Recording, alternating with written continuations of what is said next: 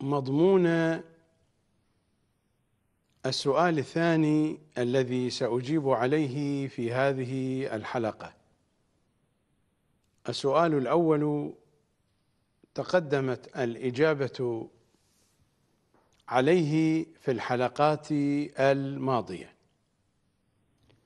سؤالنا الثاني ما علاقة الحج بزيارة الحسين؟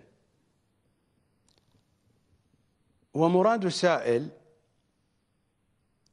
من أن الأحاديث التي تناولت زيارة الحسين صلوات الله عليه ما يرتبط بالحث عليها أو ما يرتبط بذكر ثوابها وأجرها فإن تلك الأحاديث جعلت رباطا وثيقا ما بين الحج وزيارة الحسين. من هنا السائل وجه سؤاله ما علاقة الحج بزيارة الحسين. يمكنني أن أقرب الصورة أن أقول من أن الحج بمثابة وحدة قياس فيما يرتبط بثواب وأجر وأهمية زيارة الحسين صلوات الله وسلامه عليه.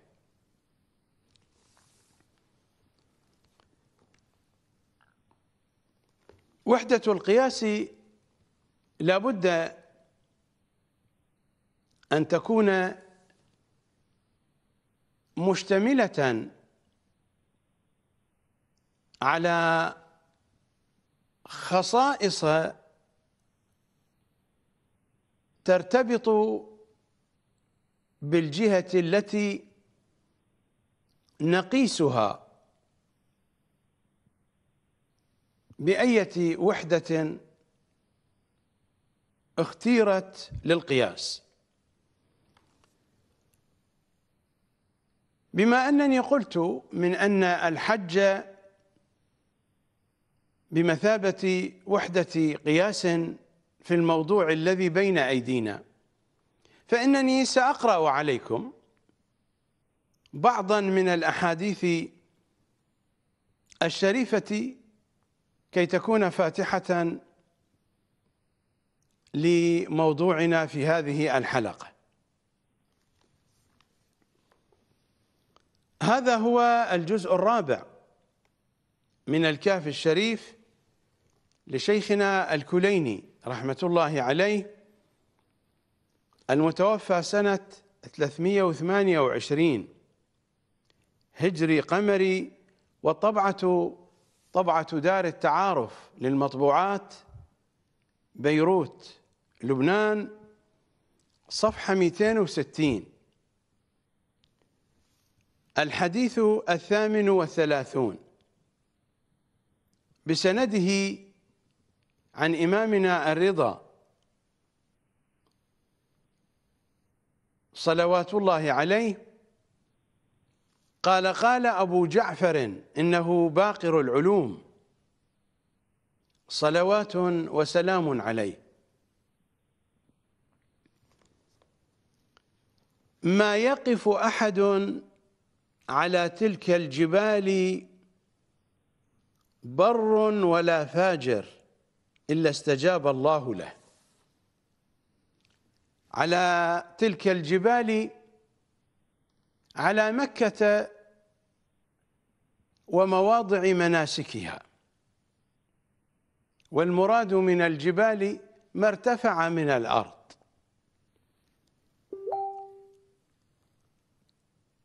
ما يقف أحد على تلك الجبال بر ولا فاجر إلا استجاب الله له. قطعا إذا ما توفرت الأجواء الصحيحة والمناسبة لأداء الحج. مثلا أن يكون الحج في أوقاته الصحيحة. فالحج له أوقات. أن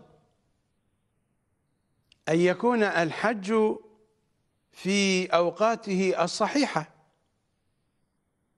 أن تؤدى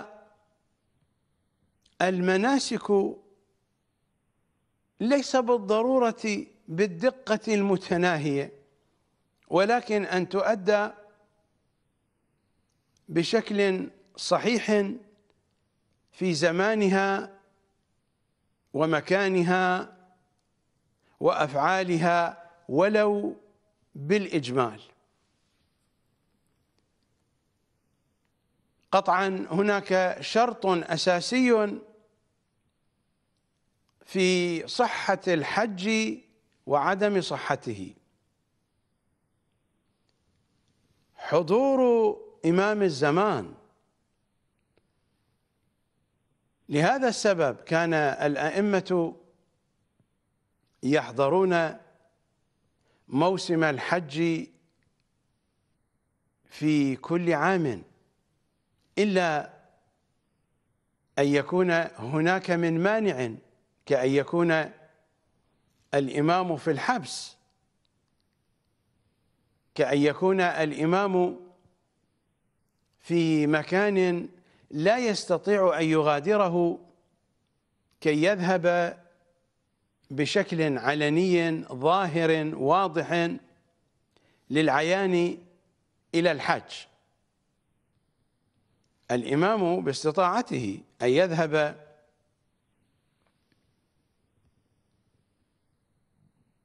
إلى الحج من دون أن يراه أحد لكنني أتحدث هنا عن ظواهر الأمور. فحضور إمام الزمان شرط في صحة الحج. لا أريد أن أدخل في هذا التفصيل وإنما أكمل قراءة الرواية لكم. ما يقف أحد على تلك الجبال بر ولا فاجر إلا استجاب الله له. فأما البر البر هو الخير. فأما البر فيستجاب له في آخرته ودنياه. وأما الفاجر فيستجاب له في دنياه.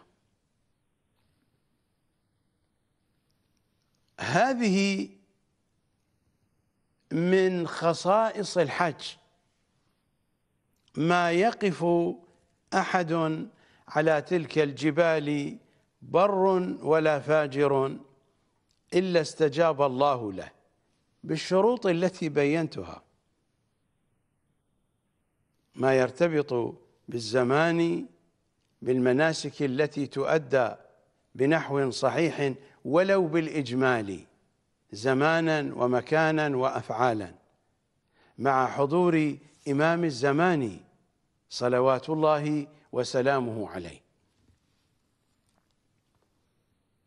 ما يقف أحد على تلك الجبال بر ولا فاجر إلا استجاب الله له. فأما البر فيستجاب له في آخرته ودنياه. وأما الفاجر فيستجاب له في دنياه.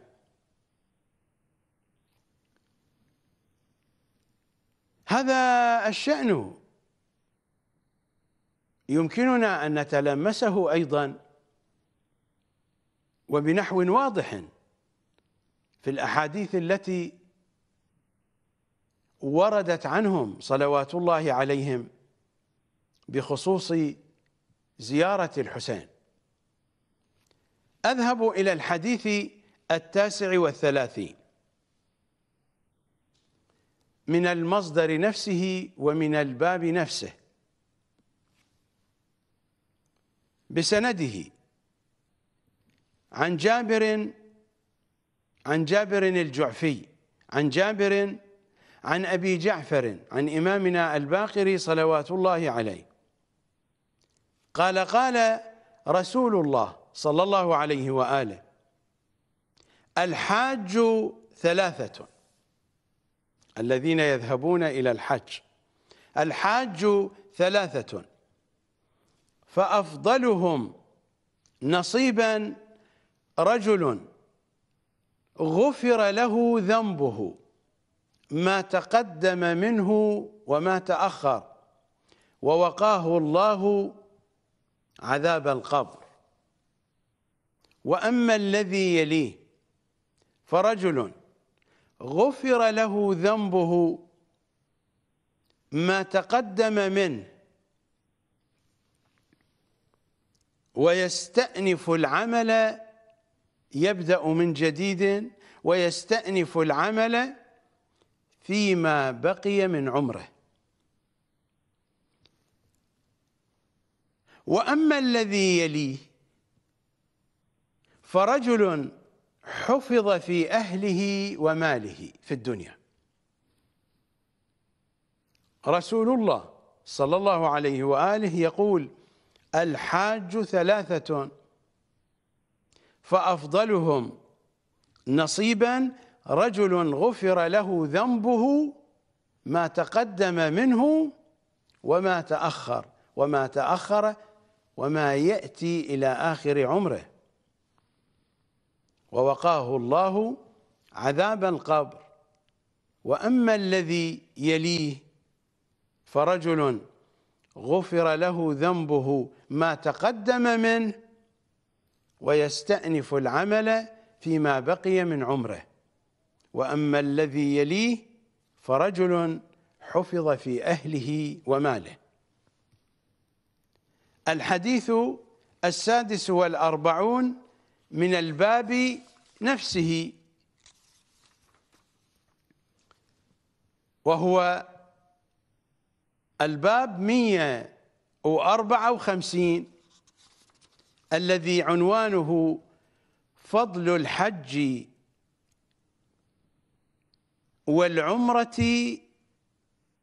وثوابهما.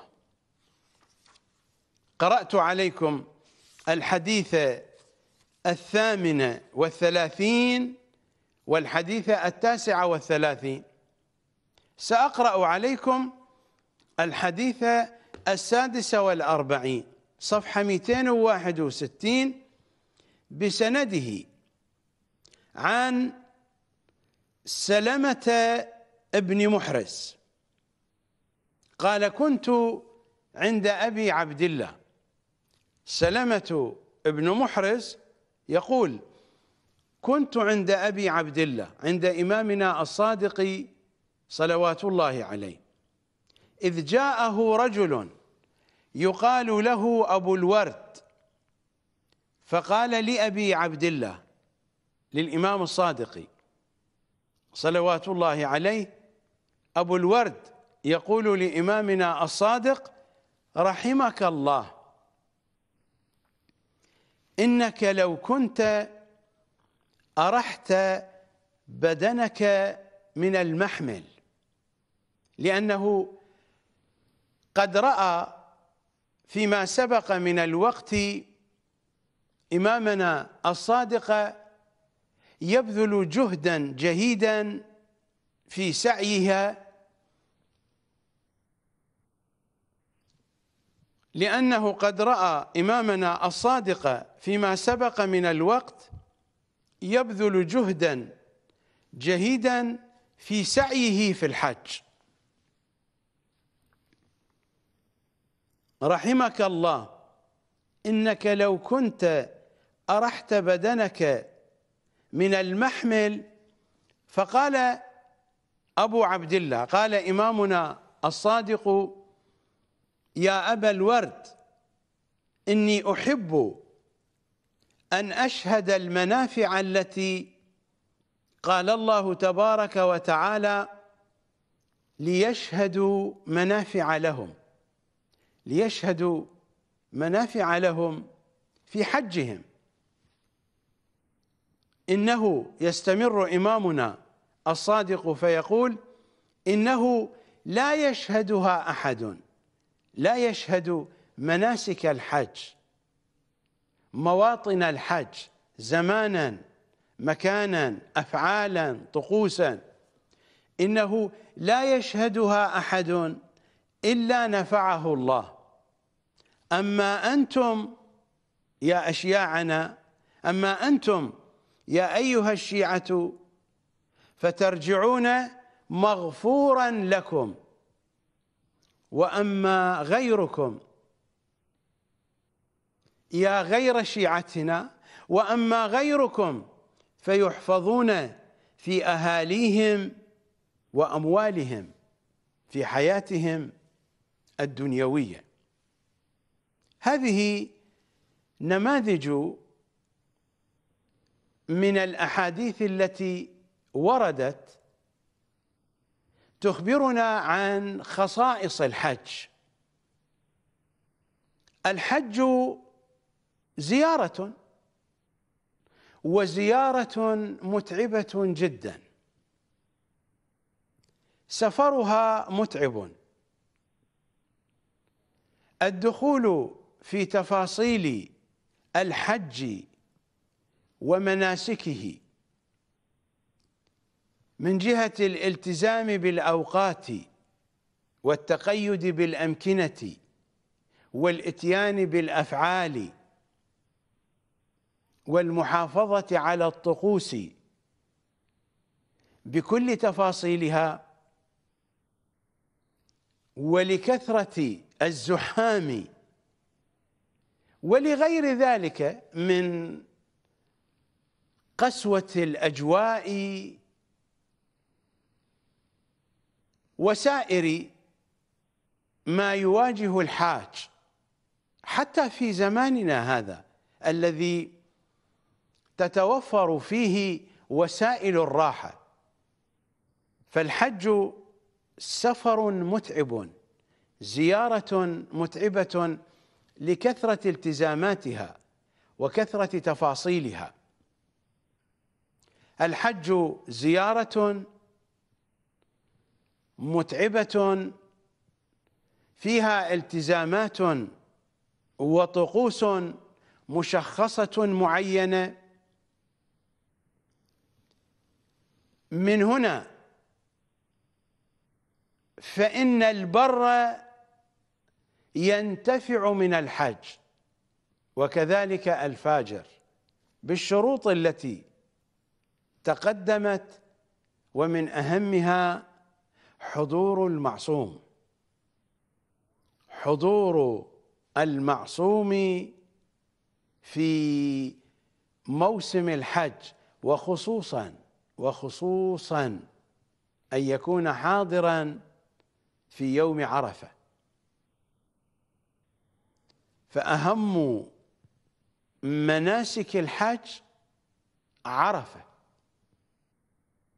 الحج عرفة.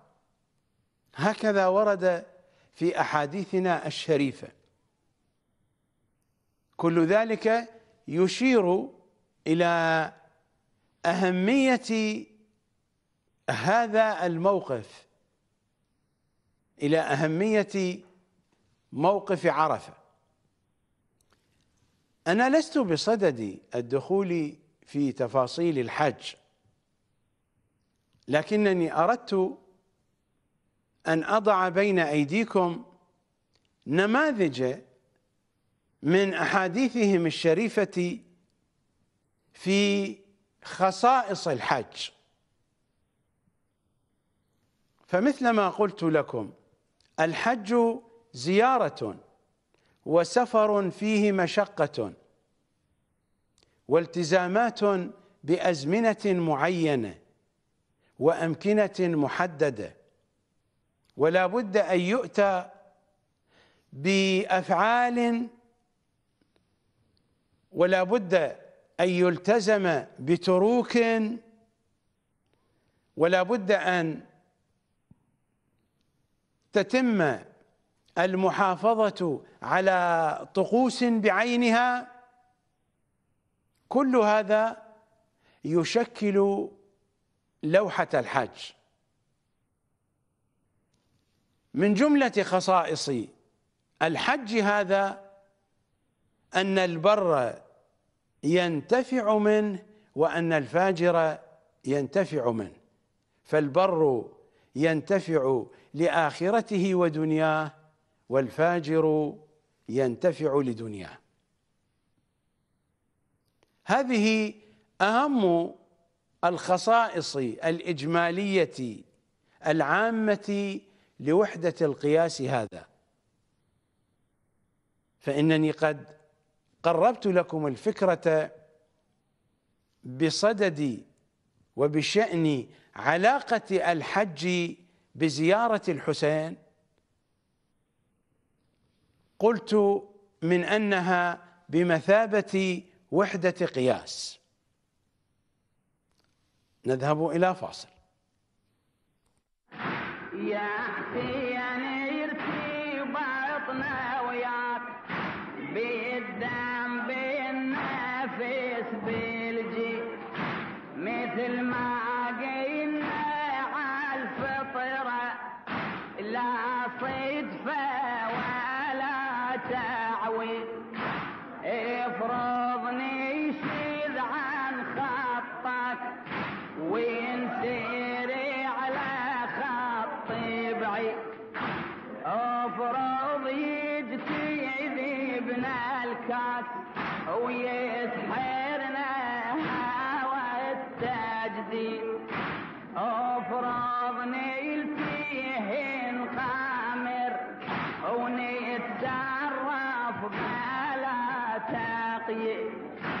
ما تفرض بعد يا حسين اش ما نعمل بعد ونزيد لابد ما تيجي الساعة اللي بيها ننتبه ونعيد لابد ما هي والرحمة يدركنا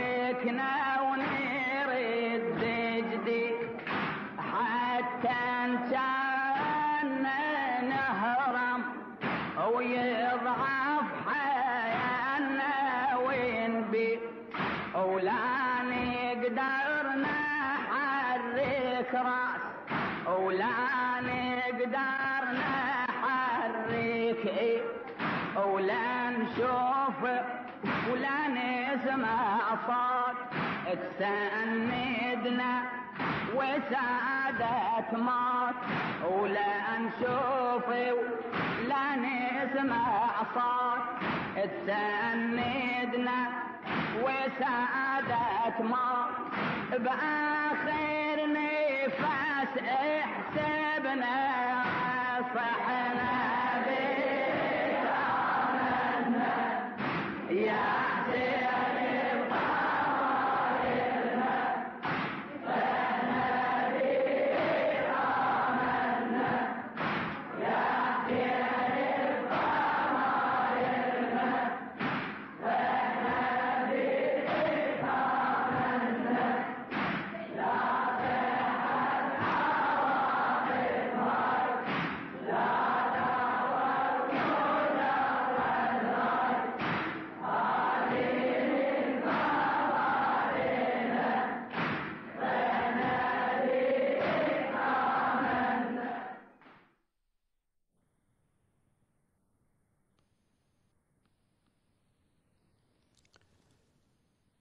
ما تقدم من مضمون في الأحاديث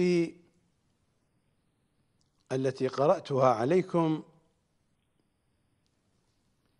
يمثل جسد الحج. إذا أردنا أن نشبه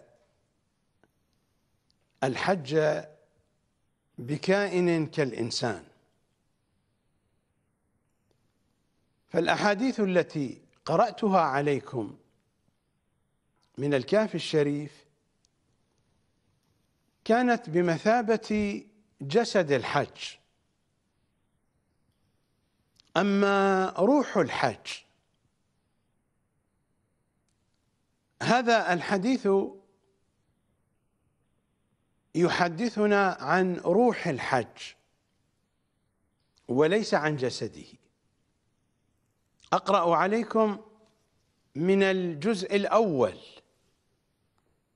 من تأويل الآيات الظاهرة في فضائل العترة الطاهرة للمحدث شرف الدين الإسترابادي النجفي رحمة الله عليه. وهذه الطبعة طبعة مؤسسة الإمام المهدي قم المقدسة. صفحة 336 الحديث التاسع. ومثل هذا الحديث موجود في الكافي الشريف وغيره. عن إمامنا الصادق صلوات الله وسلامه عليه وقد نظر إلى الناس يطوفون بالبيت يطوفون حول الكعبة. فالبيت هو الكعبة.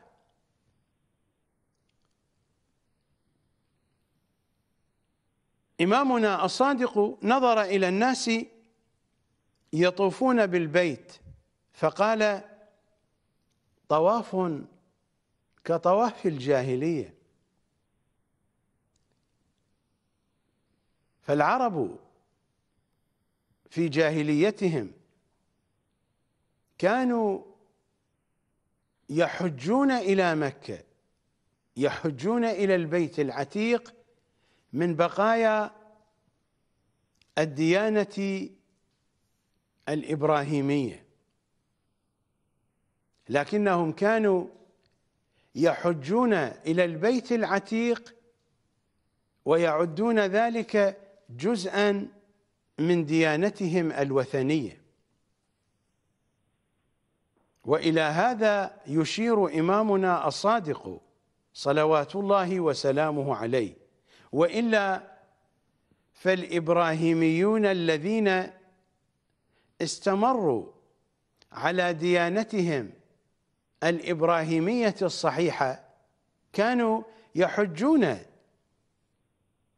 إلى البيت العتيق أيضا بحسب ديانتهم إلا أنهم كانوا قلة قليلة.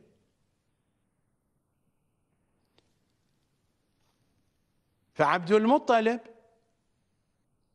كان من أوصياء إبراهيم وأبو طالب كان من أوصياء إبراهيم. صلوات الله وسلامه عليهم أجمعين.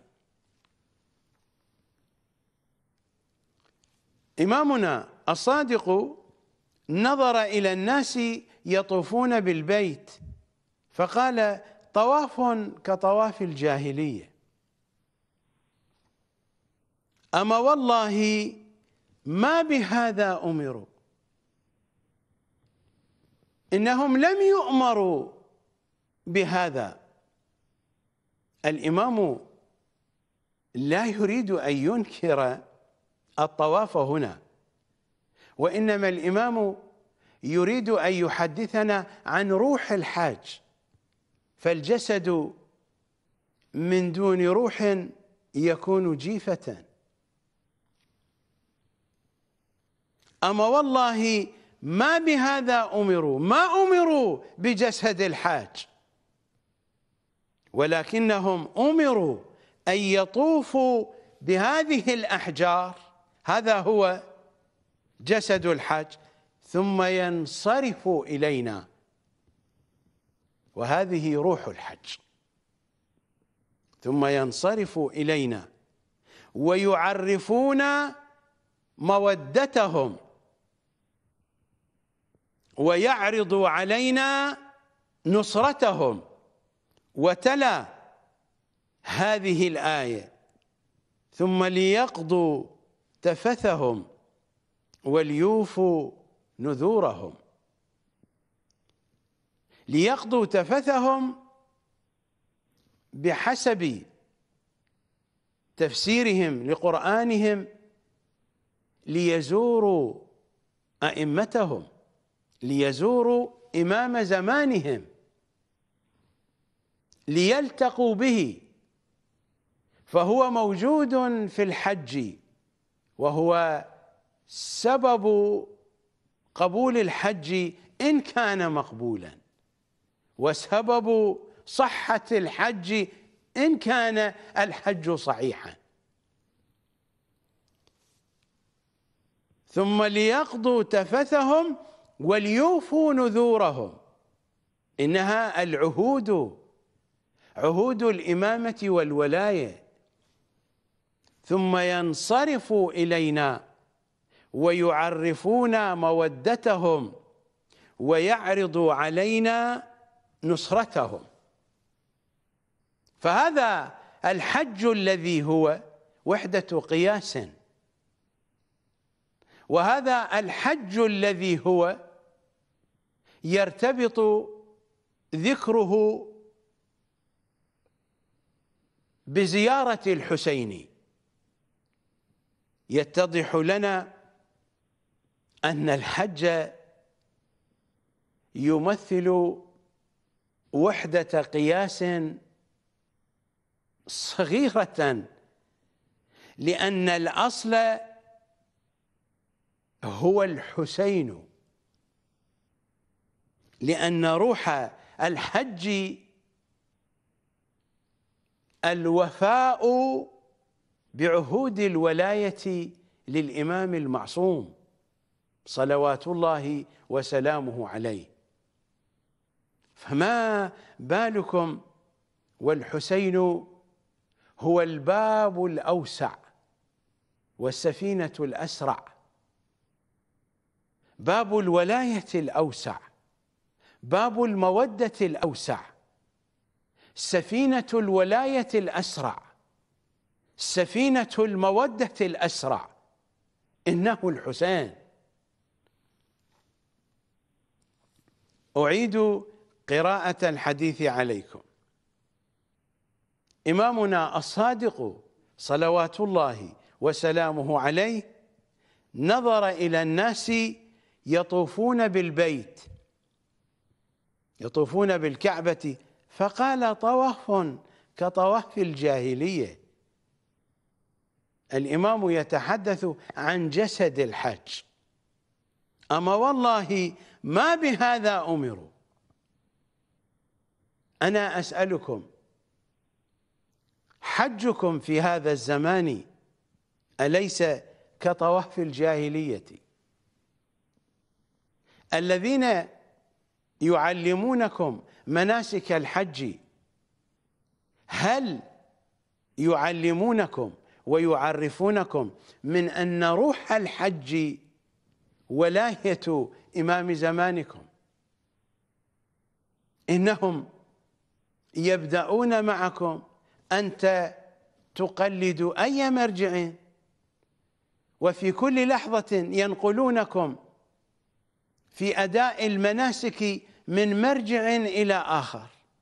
اعملوا بفتوى المرجع سين هنا واعملوا بفتوى المرجع صاد هناك. وفي آخر الحج يفرضون عليكم أن تدفعوا كفارات بالدولار. حج مضحكة حج مسخرة. والمرأة الجميلة يتمتعون بها حتى لو كانت متزوجة.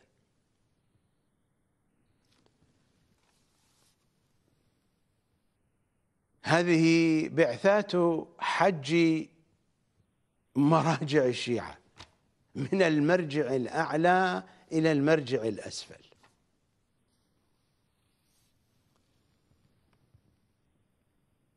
طواف كطواف الجاهلية. أما والله ما بهذا أمروا ولكنهم أمروا أن يطوفوا بهذه الأحجار. هذا هو جسد الحاج. ثم ينصرفوا إلينا. ويعرفون مودتهم. ويعرض علينا نصرتهم. وتلا هذه الآية. ثم ليقضوا تفثهم. ليقضوا تفثهم.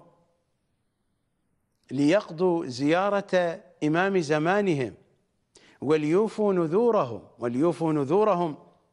ويعرفون مودتهم ويعرض علينا نصرتهم.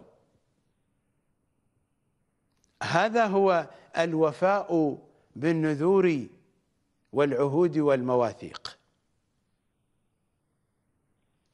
فالحج وحدة قياس صغيرة. لماذا؟ لأن الحج لا يكون حجا إلا بروحه. وروح الحج هو هذا المضمون الذي بينته لنا هذه الرواية الشريفة. أما زيارة الحسين إذا كان الزائر عارفا بحق الحسين. فإنه مرتبط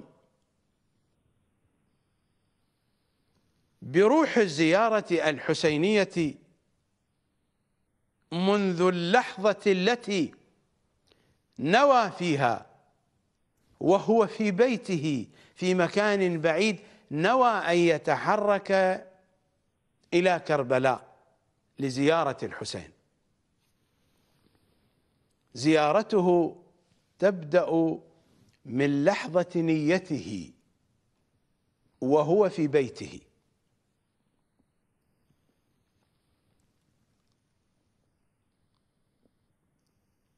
قارنوا بين هذا المنطق وبين منطق مرجع المستقبل. محمد رضا السيستاني. هذا الجزء الأول من كتابه بحوث في شرح مناسك الحج. الجزء الأول من بحوث في شرح مناسك الحج هي تقريرات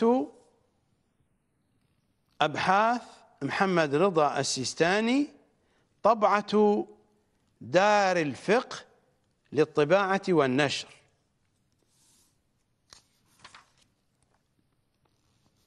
الطبعة الثانية 2019 ميلادي.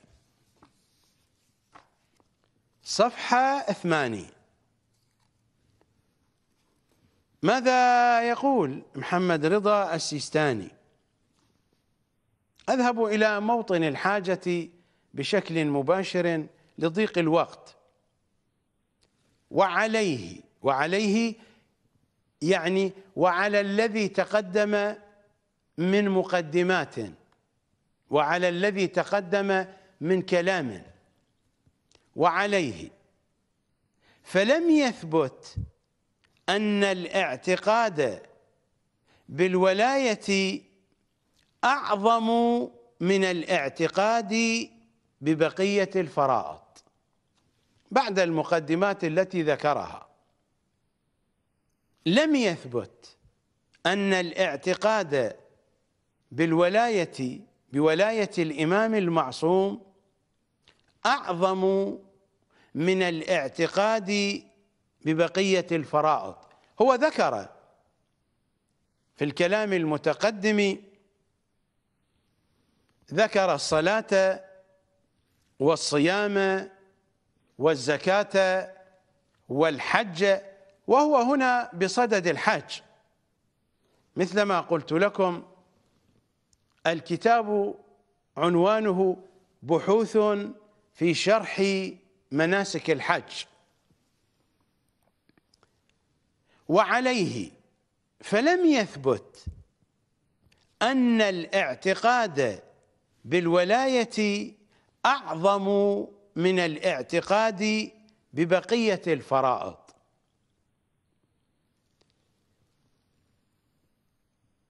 فلا تنافي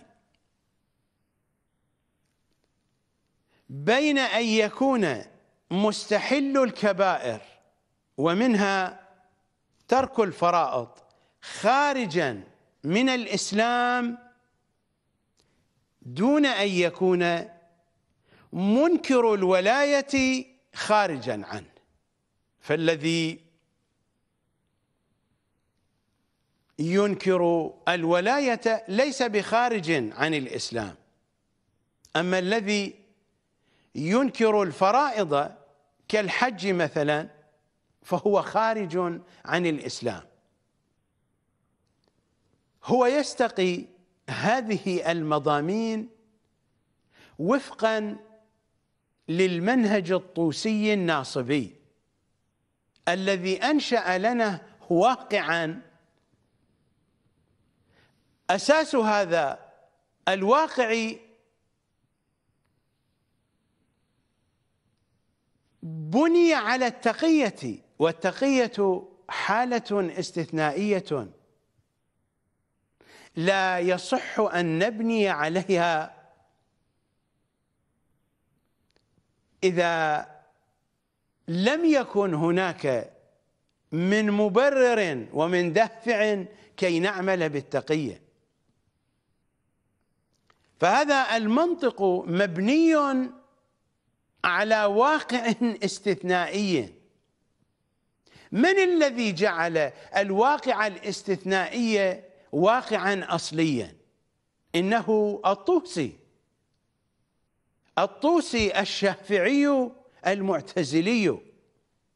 هو هذا الذي جعل الواقع الاستثنائي واقعا اصليا. لماذا؟ لأنه شافعي. هو شافعي. فإنه يرى الواقع الاستثنائي عند العترة الطاهرة يراه واقعا اصليا. وهذا هو الذي دفع ب محمد رضا السيستاني أن يتبنى ما تبناه هنا. نذهب إلى فاصل.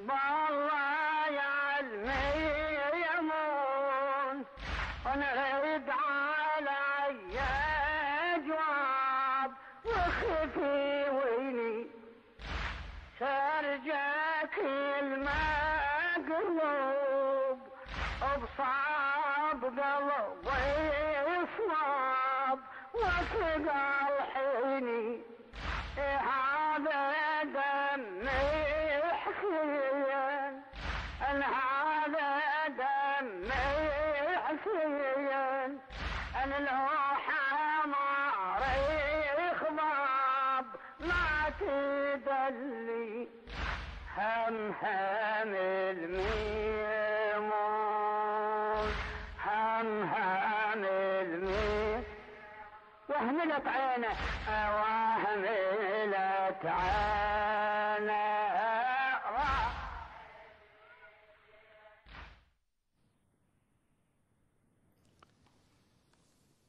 زيارة الحسين في عظمتها لا وجه للمقايسة فيما بينها وبين الحاج. الحج وحدة قياس لثواب وأجر زيارة الحسين. زيارة الحسين شيء وثوابها شيء. الحج مع أهميته هو وحدة قياس لثواب زيارة الحسين. زيارة الحسين لا قيمة لها أصلا. إذا أردنا أن نقايسها بولاية الحسين ولاية الحسين من ذاتيات الحسين. أما زيارة الحسين. فما هي من ذاتيات الحسين؟ وإنما هو سبب تفضل به الحسين علينا.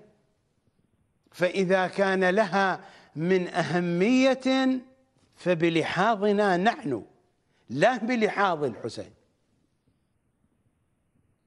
زيارة الحسين من جهة الحسين لا قيمة لها.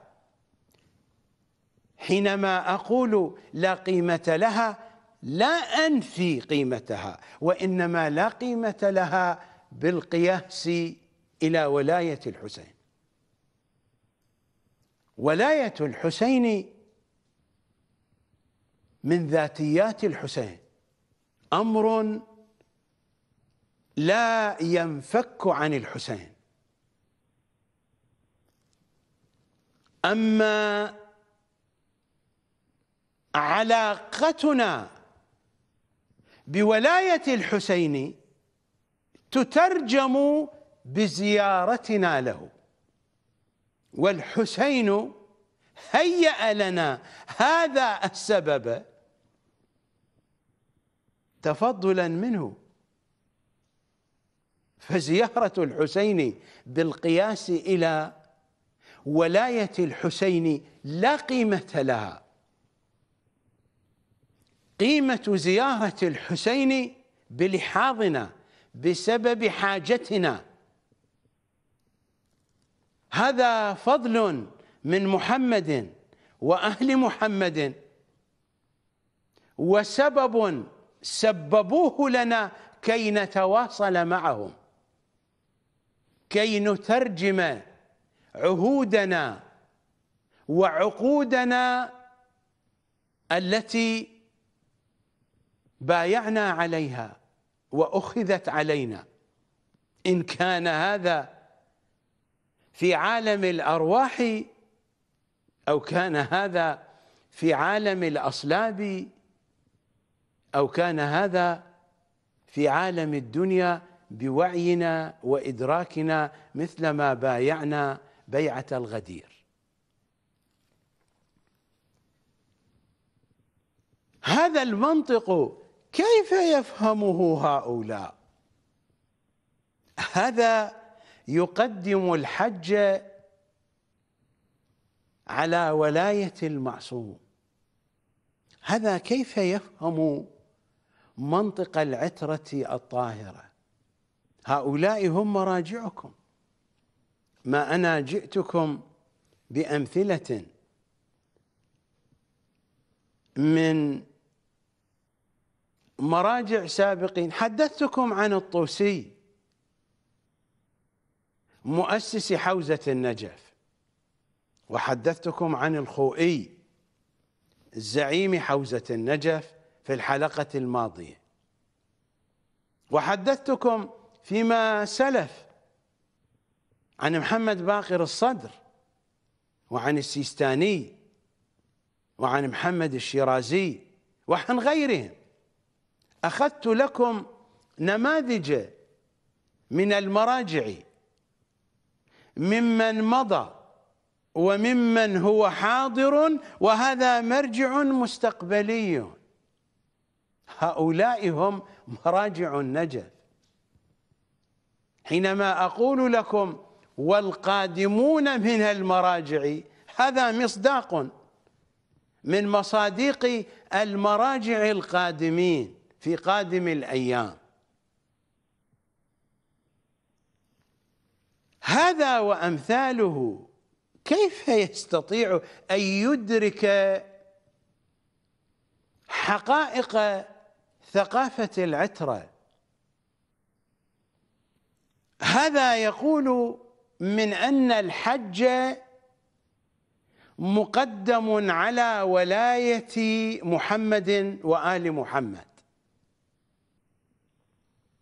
كيف يستطيع أن يدرك من أن الحج وحدة قياس لثواب زيارة الحسين؟ وليس لزيارة الحسين لثواب الزيارة. الزيارة شيء والثواب شيء. وثواب زيارة الحسين على مراتب. جانب من جوانب ثواب زيارة الحسين يقاس بوحدة القياس هذه. وإلا فإن الذين ترتقي درجات معرفتهم بالحسين ثوابهم وأجرهم شيء آخر. لا يقاس لا بالحج ولا بغير الحج. هؤلاء الذين يقاس ثوابهم بالحج وبالعمرة وأمثال ذلك هؤلاء من زوار الحسين من أصحاب المراتب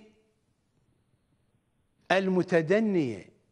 أصحاب المراتب العالية ثوابهم وأجرهم شيء آخر. على أي حال بغض النظر عن التفاصيل الكثيرة الوقت لا يكفي. يجري سريعا وعندي كثير من المطالب.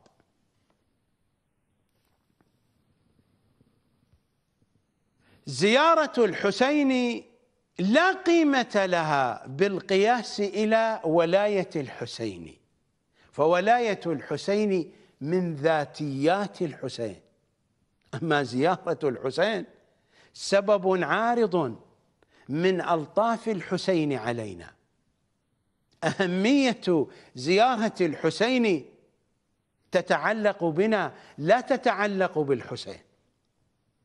الجهة التي تتعلق بالحسين هو لطفه هو كرمه. أن سبب لنا هذا السبب. لكن زيارة الحسين لا علاقة لها بذاتيات الحسين بمقامات الحسين. الحج لا يقاس بزيارة الحسين وإنما هو وحدة قياس لنوع من أنواع ثواب وأجر زيارة الحسين. زيارة الحسين شيء ثوابها وأجرها شيء وثواب زيارة الحسين على درجات.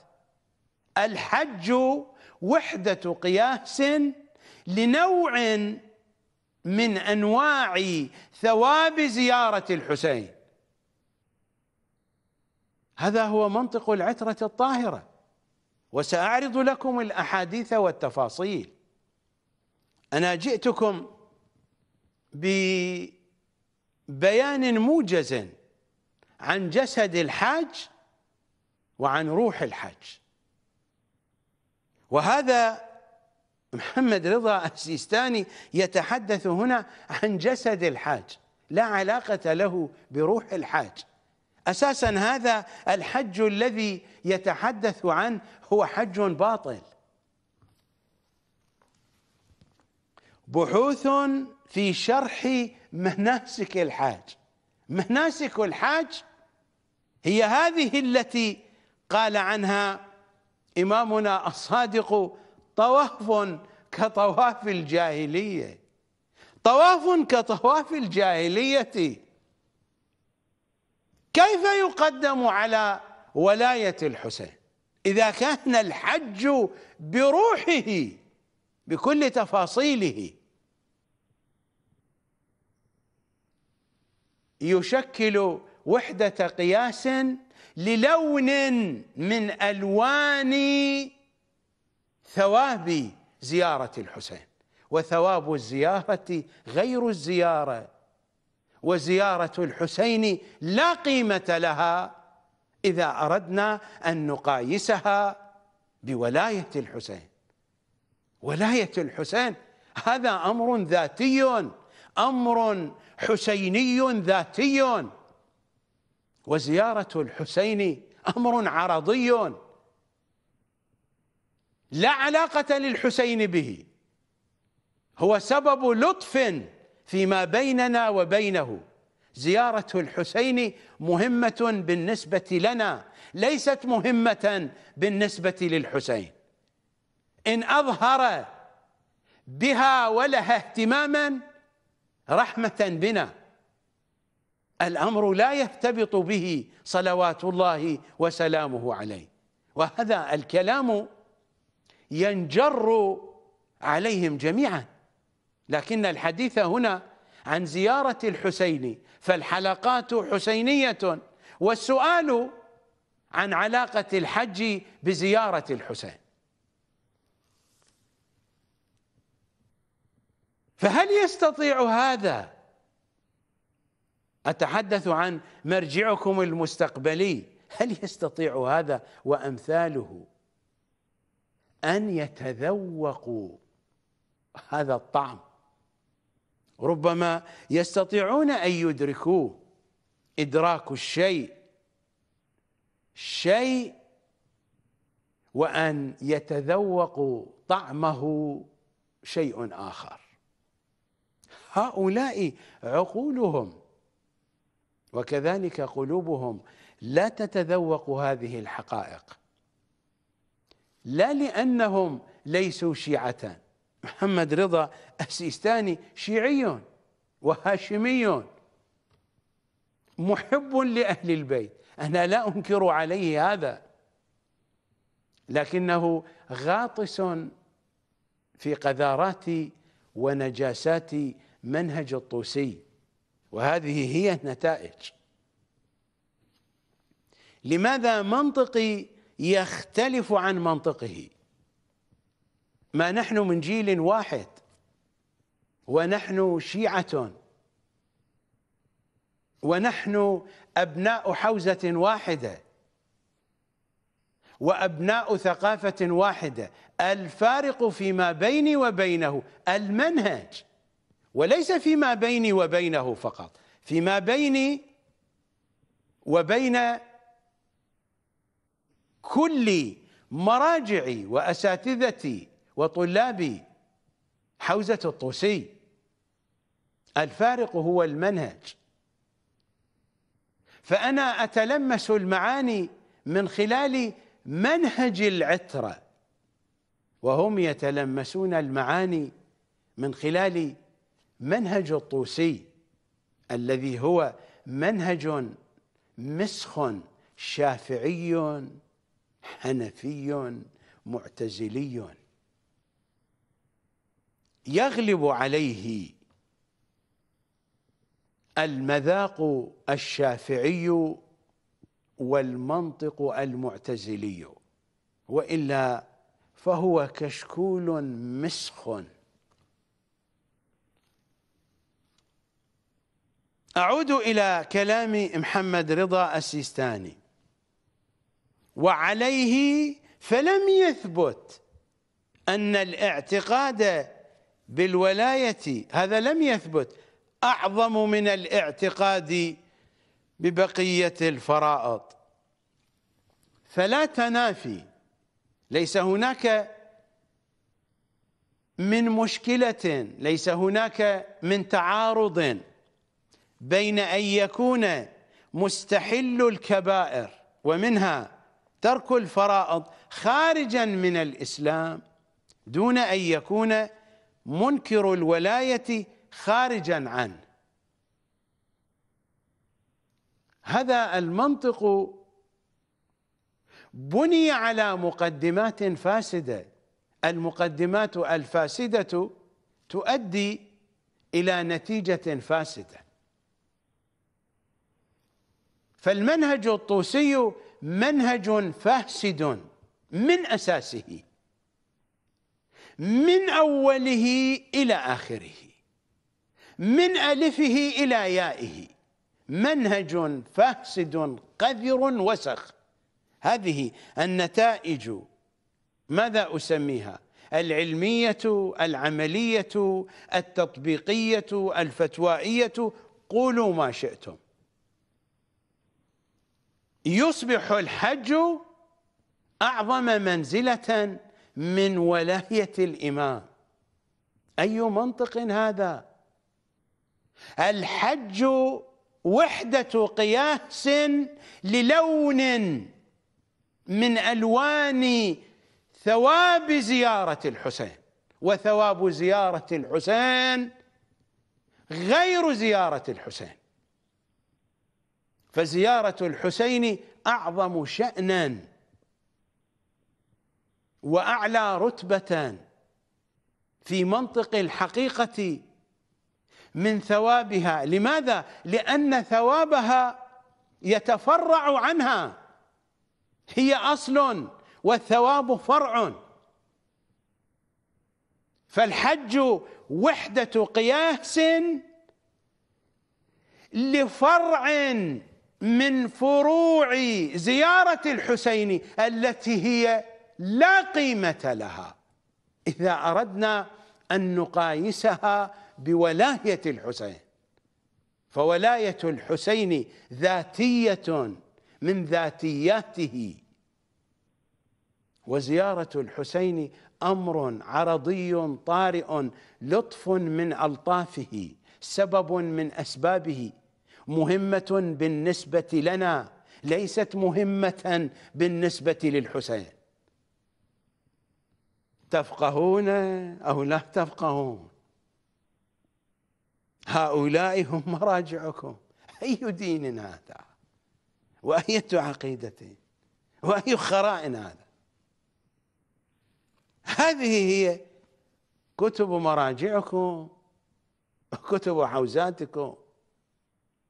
وعد قبض من دبش. نذهب إلى فاصل.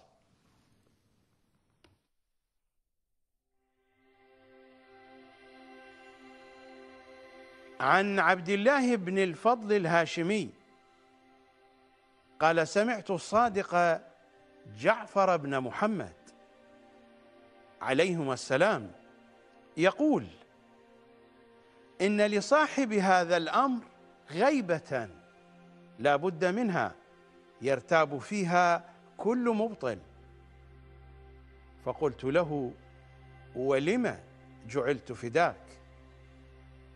قال لأمر لم يؤذن لنا في كشفه لكم. قلت فما وجه الحكمة في غيبته؟ فقال وجه الحكمة في غيبته وجه الحكمة في غيبات من تقدمه من حجج الله تعالى ذكره. إن وجه الحكمة في ذلك لا ينكشف إلا بعد ظهوره. كما لا ينكشف وجه الحكمة لما أتاه الخضر عليه السلام من خرق السفينة وقتل الغلام وإقامة الجدار لموسى عليه السلام إلا وقت افتراقهما. يا ابن الفضل إن هذا الأمر أمر من أمر الله وسر من سر الله وغيب من غيب الله. ومتى علمنا أنه عز وجل حكيم صدقنا بأن أفعاله كلها حكمة. وإن كان وجهها غير منكشف لنا.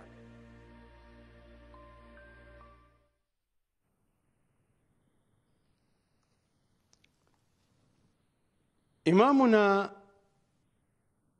الصادق صلوات الله وسلامه عليه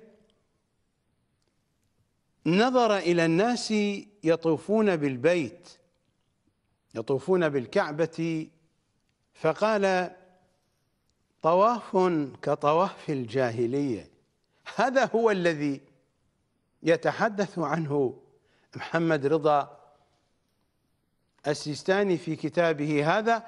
ويتحدث عنه سائر الفقهاء والمراجع. ما يكتبونه لكم في مناسك الحج في هذه الرسالة العملية الخاصة بفريضة الحج ما يكتبونه هو هذا الذي يقول عنه إمامنا الصادق صلوات الله وسلامه عليه طواف كطواف الجاهلية. أما والله ما بهذا أمروا ولكنهم أمروا أن يطوفوا بهذه الأحجار ثم ينصرفوا إلينا ويعرفون مودتهم ويعرضوا علينا نصرتهم. الذي يفترض في رسالة عملية في مناسك الحج أن تشتمل على باب كبير يتناول العلاقة مع إمام زماننا وهذا لن تجدوه في مناسك الحج التي يقدمها لكم مراجعكم لأنهم بالضبط يفعلون مثل ما يقول إمامنا الصادق صلوات الله وسلامه عليه طواف كطواف الجاهلية. أما والله ما بهذا أمروا. يعني أنكم تأتون بحج ما أنتم قد أمرتم به. وإنما الذي أمرتم به لا يذكره لكم مراجعكم في مناسك حجكم. هذه هي الحقيقة من الآخر.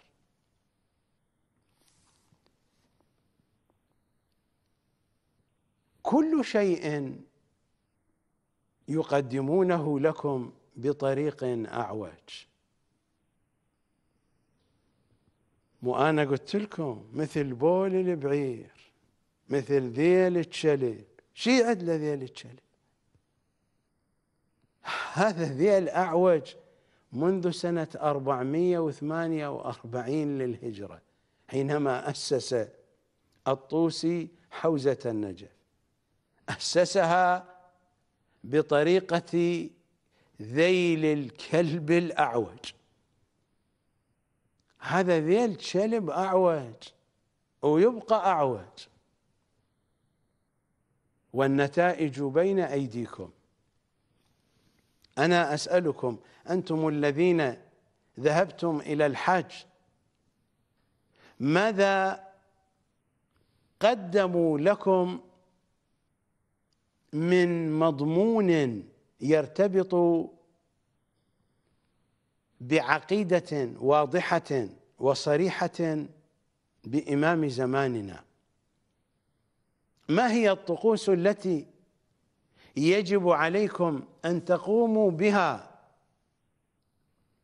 كي تجددوا العهود والمواثيق مع إمام زمانكم؟ إمامنا نحن لا نراه بأبصارنا هو يرانا.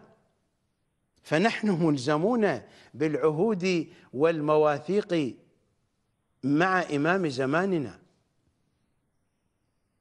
هذا هو الحج بجسده وروحه. هذا الحج الذي بجسده وبروحه هو وحدة قياس. أما هذا الذي يتحدث عنه مرجعكم المستقبلي محمد رضا السيستاني هذا يحدثكم عن طواف الجاهلية ويقدم طواف الجاهلية على ولاية الإمام المعصوم. إنه يحدثكم عن هذا. هذا الحج بجسده وبروحه يشكل وحدة قياس للون من ألوان ثواب زيارة الحسين وثواب زيارة الحسين فرع من الزيارة. الزيارة هي الأصل والزيارة الأصل بالنسبة لنا لا قيمة لها بالنسبة لولاية الحسين. قارنوا بين المنطقين.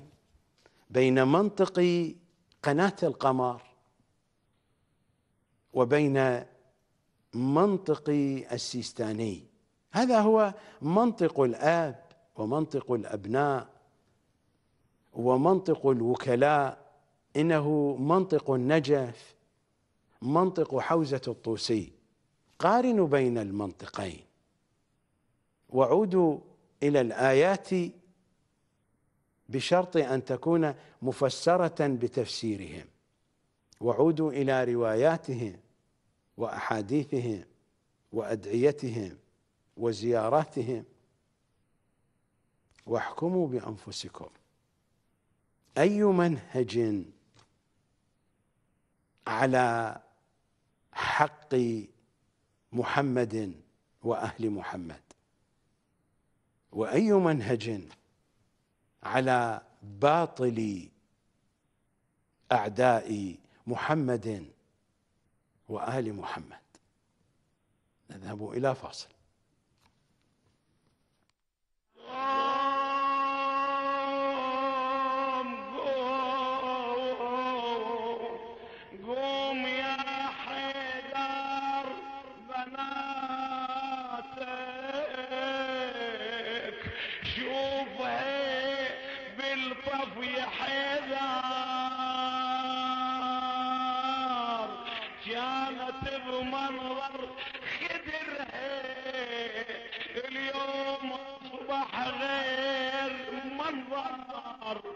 كانت بأوطان صارت بالخيام وتسكن الباب حتى الخيام بأهلها محصنة وما يمسها كل شر لأن الأهل فوق الثرى كلها جثث متوذرة. ولأن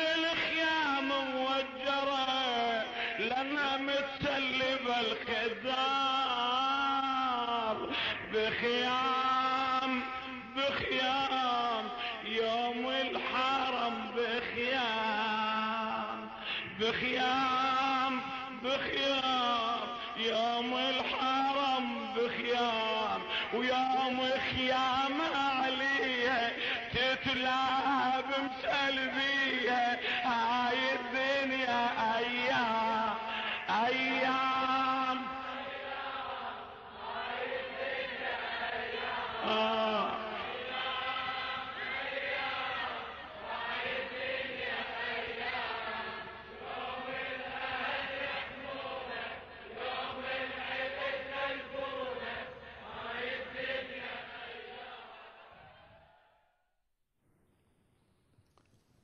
وماذا يقول أيضا؟ مرجعكم المستقبلي أعني محمد رضا السيستاني. الذي تنفق الأموال الطائلة الآن وبأوامر من أبيه لأجل التمهيد لمرجعيته بعد أبيه. ماذا يقول أيضا؟ في الصفحة الثمانين من الجزء نفسه وفي الموضوع نفسه. فالشخص الذي لا يعتقد أصلا بوجوب الصلاة لا يكون مسلما والذي يعتقد بوجوبها يكون مسلما. وإن لم يكن معتقدا بالولاية كما هو شأن أكثر المسلمين في هذا الزمان. هذا البيان مبني على أحكام التقية وهذا البيان يعارض القرآن جملة وتفصيلا. الآية السابعة والستون بعد البسملة من سورة المائدة هذه فتوى من الله. ما هي برواية تستطيعون أن تشككوا في سندها أو في مصدرها؟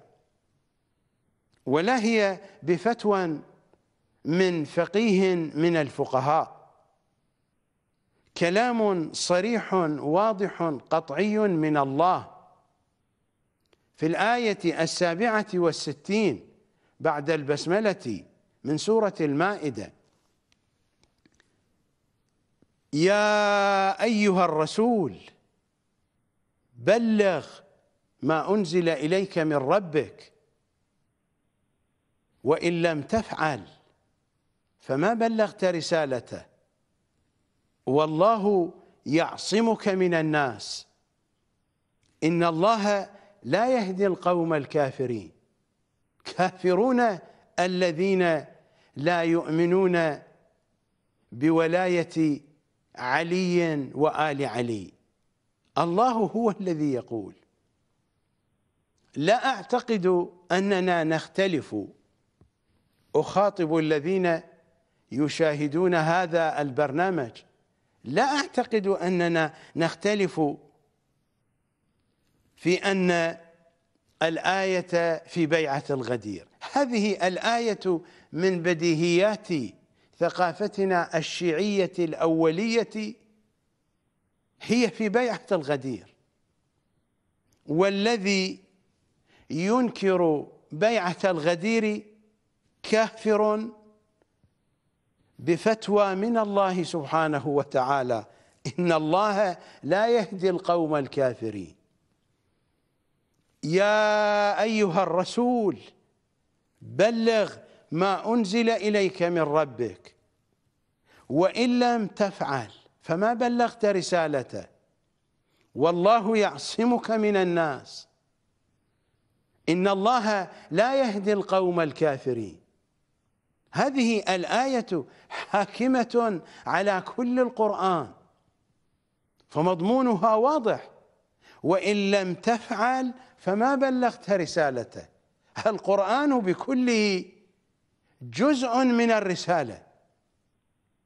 وولاية علي بحسب الآية هي أعلى رتبة من كل الرسالة بكل تفاصيلها. مر هذا الكلام. هذا الكلام يرتبط بمرحلة التنزيل والتأويل. مر هذا الكلام في حلقات سابقة مفصلة. لا أجد وقتا كي أعيد كل كلام تقدم ذكره حتى لو كان مهما. فالآية حاكمة على القرآن كله. إن الله لا يهدي القوم الكافرين. هذا المنطق منطق مراجع النجف منطق حوزة النجف. منطق يتعارض مع القرآن يتعارض مع بديهيات عقائدنا الشيعية.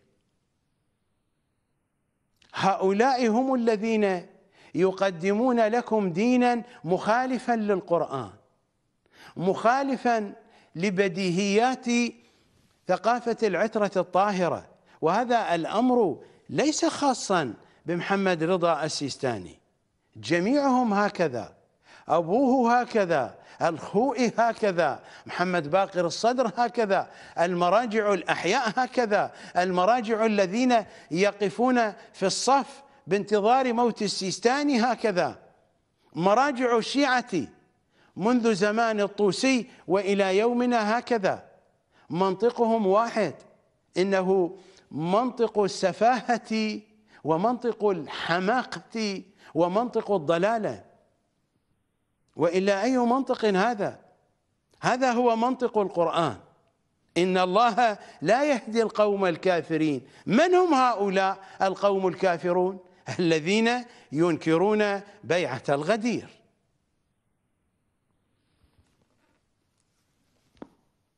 هذا هو فقههم. هذا هو فقهكم وهذا هو دينكم الذي تأخذونه من مراجعكم من مراجع النجف وكربلاء.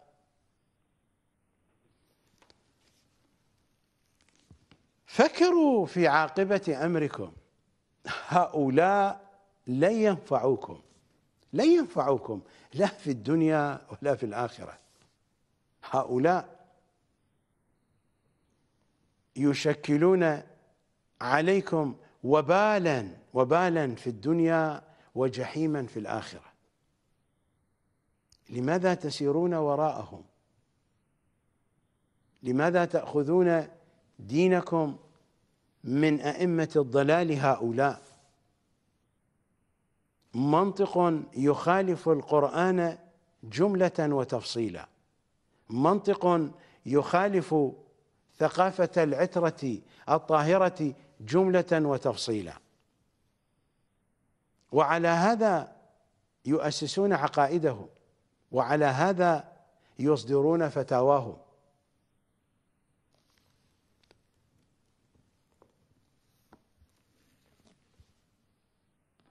أقرأ عليكم هذه أقرأ عليكم هذه الرواية التي ترتبط ارتباطا مباشرا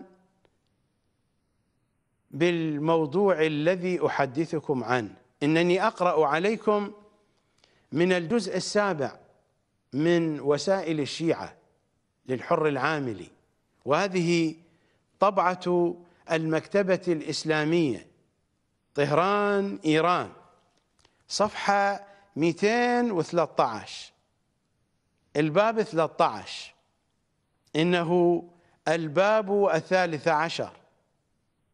الحديث الثاني بسنده. عن رزين قال قال أبو عبد الله إمامنا الصادق صلوات الله وسلامه عليه لما ضرب الحسين بن علي بالسيف فسقط سقط إلى الأرض. ثم ابتدر ليقطع رأسه. ابتدر إليه الشمر لعنة الله عليه. نادى مناد من بطنان العرش. من بطنان العرش من قلبه من وسطه من حقيقته. نادى مناد من بطنان العرش. ألا أيتها الأمة المتحيرة الضالة بعد نبيها؟ هذا يؤكد العنوان الذي مر علينا في الحلقات السابقة الكذبة الكبرى التي كذبها علينا مراجع النجف وكربلاء الكذابون. السفلة الدجالون الذين كذبوا علينا وقالوا لنا من أن الأمة قد صلح حالها وحسن أمرها بعد مقتل الحسين. نادى مناد من بطنان العرش ألا أيتها الأمة المتحيرة الضالة بعد نبيها؟ لا وفقكم الله لأضحى ولا لفطر.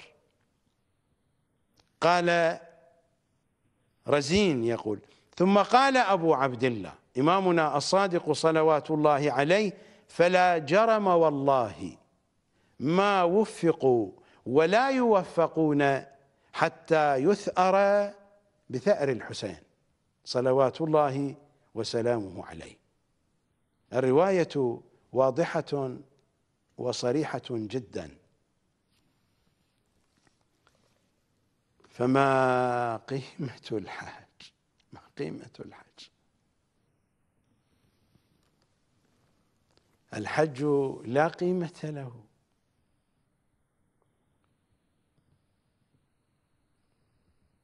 مدار الأمر الحسين مدار الأمر الحسين.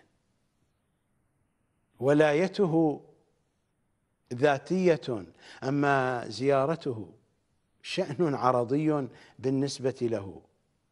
هي أمر مهم بالنسبة لنا. والحج وحدة قياس إذا توفرت الشروط. أما وهذا الواقع فليس هناك من حج أصلا. إلا إذا ما توفرت الشروط بحضور صاحب الأمر وهو الذي يمضي على حج أوليائه وأشياعه وإلا سيبقون مضحكة ومسخرة بيد المعممين من مبلغي بعثات المراجع. مجاميع من المعممين الحمير الذين لا يفقهون شيئا. من دين العترة الطاهرة تعلموا فساوى مراجعهم التي تقدم للشيعة حجا بالمستوى الذي تحدث عنه إمامنا الصادق طواف كطواف الجاهلية. أقرأ الرواية عليكم مرة أخرى. إمامنا الصادق صلوات الله وسلامه عليه يقول لما ضرب الحسين بن علي بالسيف فسقط ثم ابتدر ليقطع رأسه. ابتدروا إليه ابتدر إليه الشمر نادى مناد من بطنان العرش. ألا أيتها الأمة المتحيرة الضالة بعد نبيها؟ لا وفقكم الله لأضحى. الأضحى عنوان للحاج ولا لفطر والفطر عنوان للصيام. وهناك ارتباط بين الصيام والحج. ألا تجدون أن أدعية شهر رمضان من أوله إلى آخره في أدعية النهار وفي أدعية الليل في أدعية كل ليلة وفي أدعية الليالي المخصوصة كليالي القدر. هناك تكرار في الأدعية لذكر الحج وهناك إلحاح في الأدعية أن الداعي يلح ويلح أن يرزق الحج فهناك ارتباط ما بين الصيام وما بين الحج وهذا الارتباط فيه إشارة إلى الوفاء بعهود الولاية لإمام زماننا. الحجة بن الحسن صلوات الله وسلامه عليه. هو الذي يوفقنا لأضحانا ولفطرنا. إذا لم يوفقنا هو فإننا سنكون من المخاطبين بهذا الخطاب. ألا أيتها الأمة المتحيرة الضالة بعد نبيها. لا وفقكم الله لأضحى ولا لفطر. ثم قال إمامنا الصادق صلوات الله وسلامه عليه فلا جرم والله ما وفقوا ولا يوفقون حتى يثأر بثأر الحسين. ثأر الحسين هو المحور. المشروع المهدوي يرتبط ارتباطا مفصليا بثأر الحسين. والرجعة العظيمة وهي أساس ديننا وأساس عقائدنا ترتبط ارتباطا مفصليا بثأر الحسين. الحسين دفع نحره ثمنا للرجعة العظيمة. زيارة الحسين هي جزء من برنامج التمهيد للثأر الحسيني في العصر القائمي الأول. أهميتها تنشأ من هنا وما الحج إلا عبادة. فيها للحسين أثر. أين أثر الحسين في الحج؟ هذا ما سأبينه لكم ولكن بعد الفاصل.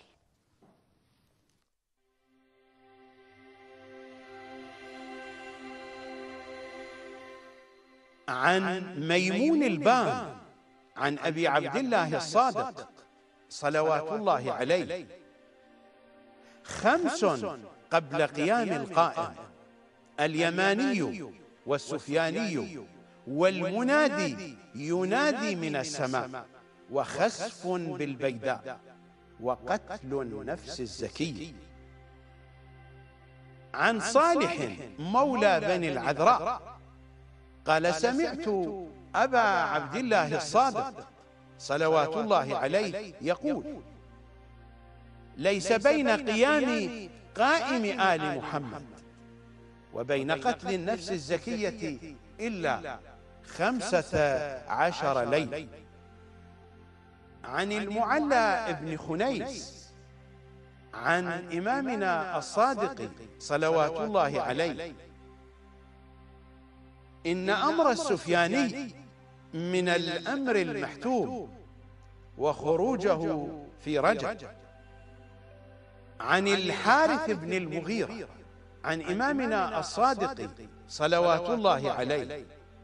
الصيحة التي في شهر رمضان تكون ليلة الجمعة لثلاث وعشرين مضين من شهر رمضان.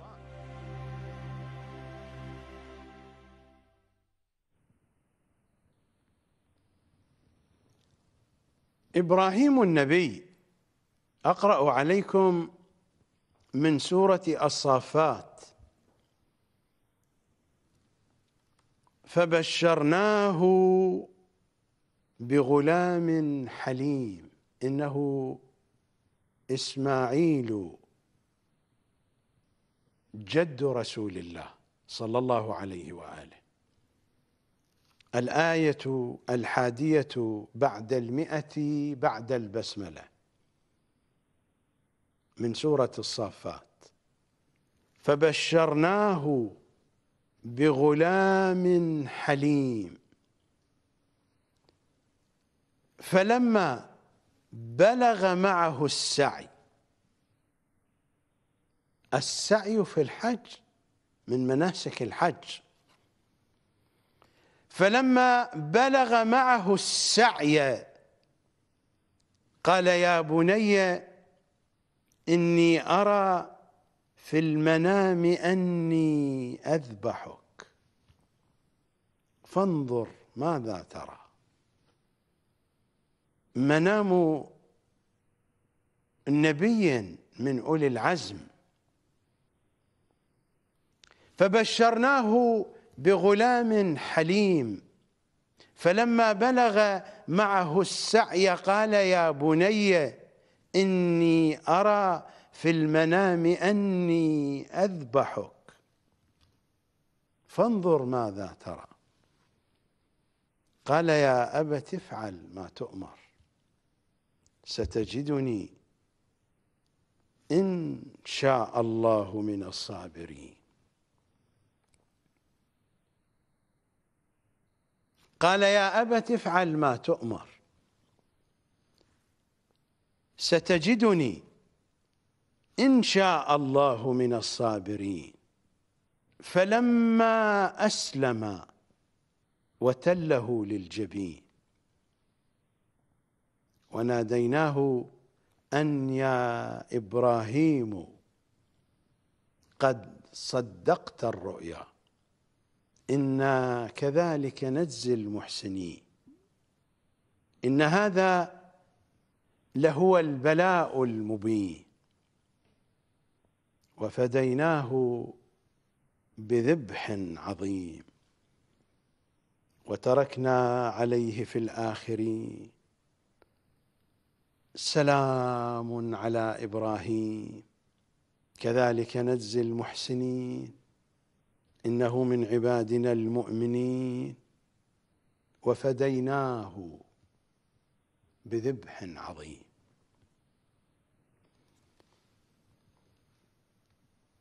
هل يمكن أن يكون الخروف حتى لو كان جنانيا أن يكون أعظم من إسماعيل؟ هل هذا الكلام منطقي؟ وفديناه بذبح عظيم. هل هو الخروف الذي نزل من الجنان؟ أم أنه الحسين مثل ما يقول شعراء الشيعة ويسيئون للحسين بذلك والسبب منهج الطوسي. لأن منهج الطوسية فصل بين القرآن وحديث العترة صلوات الله عليها. وفديناه بذبح عظيم المخالفون لأهل البيت يتحدثون عن خروف.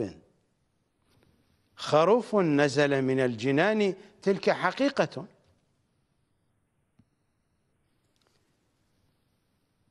وفديناه بذبح عظيم. ما هو الخروف؟ هل هو الحسين؟ أبدا. لا يمكن أن يكون الحسين فداء لإسماعيل.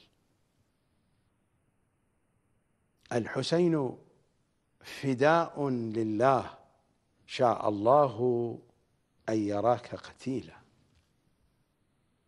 الحسين فداء لله وليس فداء لإسماعيل شاء الله أن يراك قتيلا.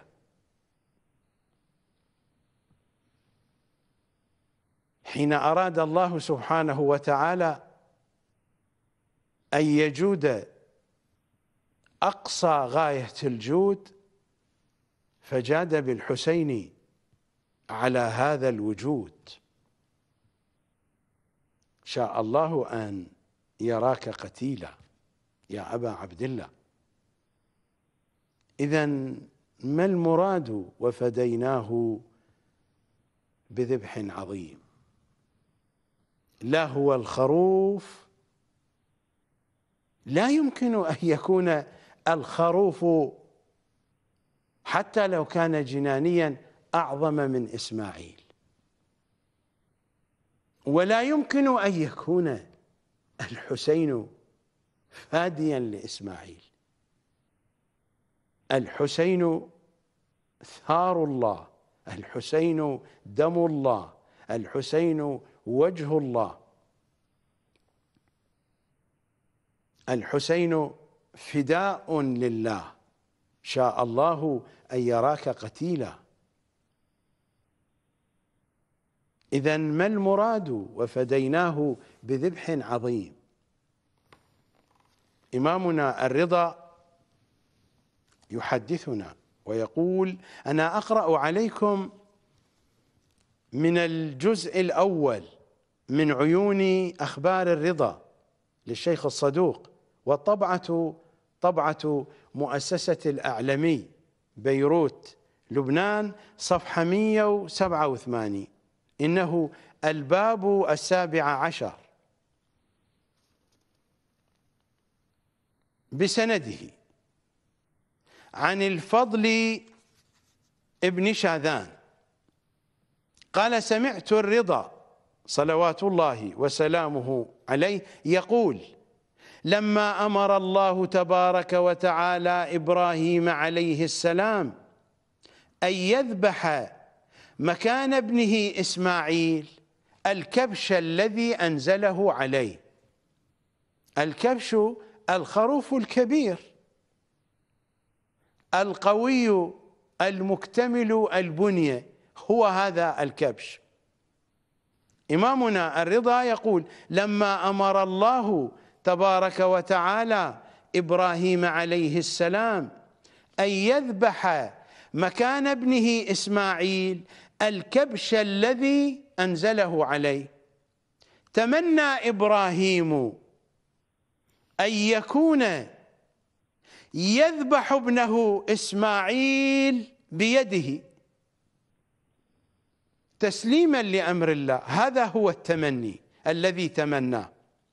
وأنه لم يؤمر بذبح الكبش وأنه لم يؤمر بذبح الكبش مكانه. ليرجع إلى قلبه ما يرجع إلى قلب الوالد الذي يذبح أعز ولده بيده. فإسماعيل هو ابنه الأكبر وابنه الأول ابنه البكر.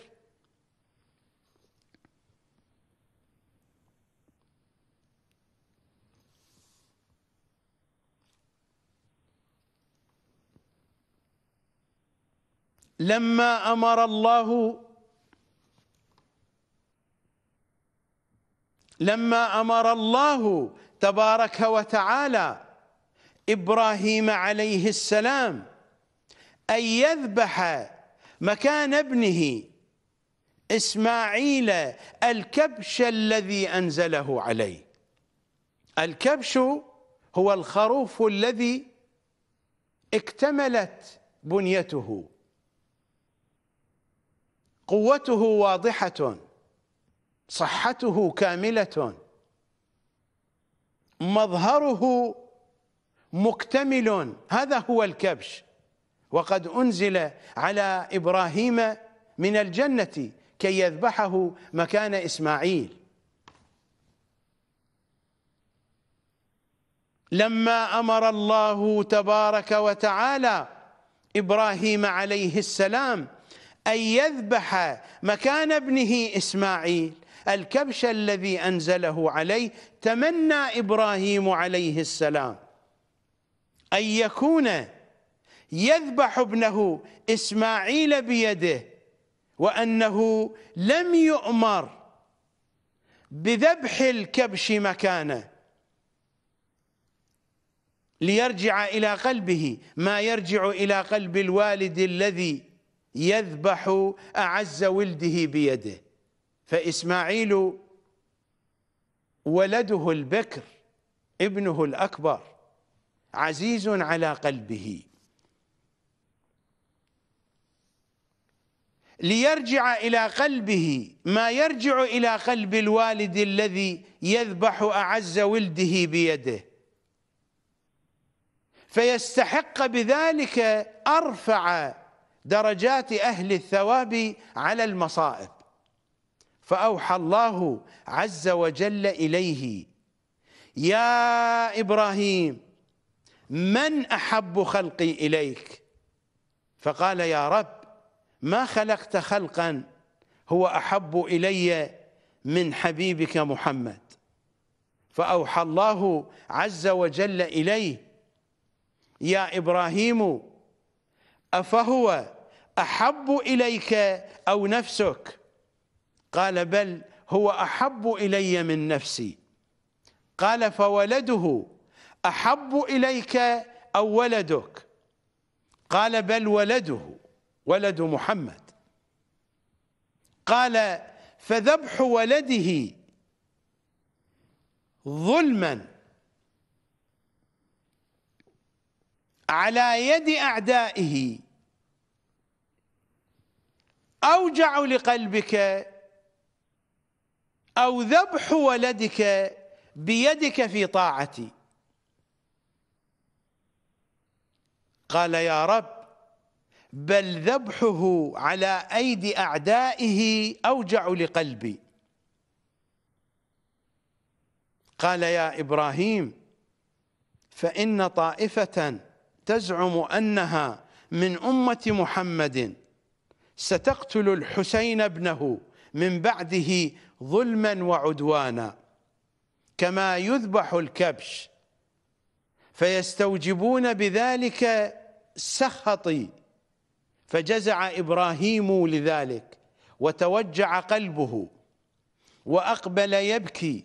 فأوحى الله عز وجل إليه يا إبراهيم قد فديت جزعك على ابنك إسماعيل لو ذبحته بيدك بجزعك على الحسين عليه السلام وقتله وأوجبت لك أرفع درجات أهل الثواب على المصائب. فذلك قول الله عز وجل وفديناه بذبح عظيم.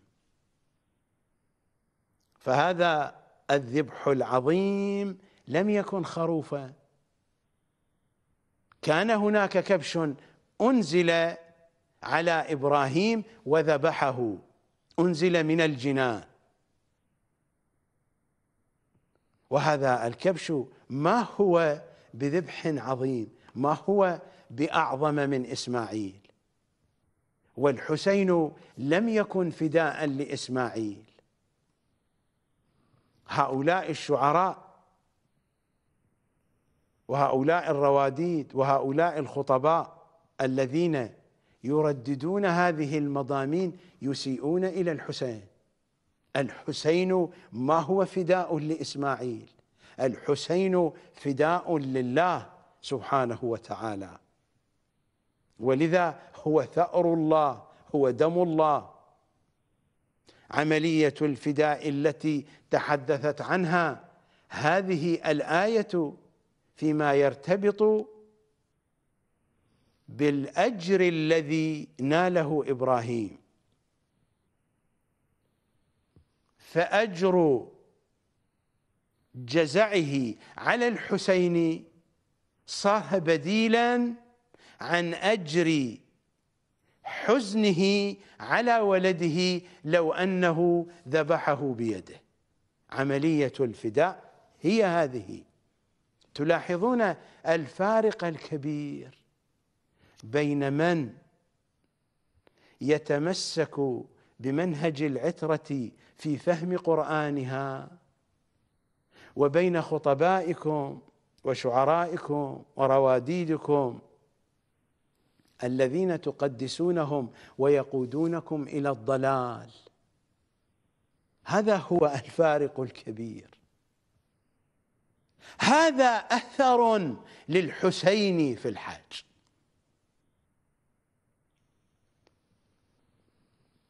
لأن ما رآه إبراهيم فيما يرتبط بذبح ولده إسماعيل كان جزءا من مناسك الحج. إنه رمز للتضحية بالنفوس في سبيل الوفاء بالعهود والمواثيق لمحمد وأهل محمد. فما من نبي إلا وقد بعث بميثاق نبوة محمد وولاية علي والأئمة من بعده. ما من نبي بعث إلا وقد بعث بهذا الميثاق. هذا ما هو كلامي. هذه كلماتهم وأحاديثهم ورواياتهم الشريفة. ما من نبي بعث إلا وقد بعث بميثاق نبوة محمد وولاية علي والأئمة من بعده. الأئمة من بعده فاطمة وأولاد فاطمة من المجتبى إلى القائم.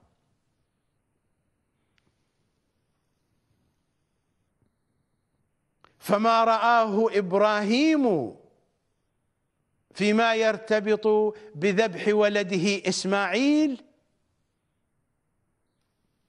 هو نحو تصديق ونحو إثبات عملي للوفاء بتلك العهود والمواثيق.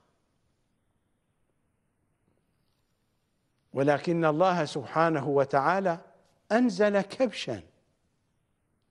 وصار ذبح الكبش رسما ومنسكا شرعيا في طقوس الحج ومناسك الحج. وهذه الواقعة لذكر الحسين فيها لمسة. وفديناه بذبح عظيم. هذه اللمسة الحسينية من أن الله سبحانه وتعالى هو الذي قرأ التعزية لإبراهيم قرأ مصيبة الحسين لإبراهيم. الرواية هكذا تقول.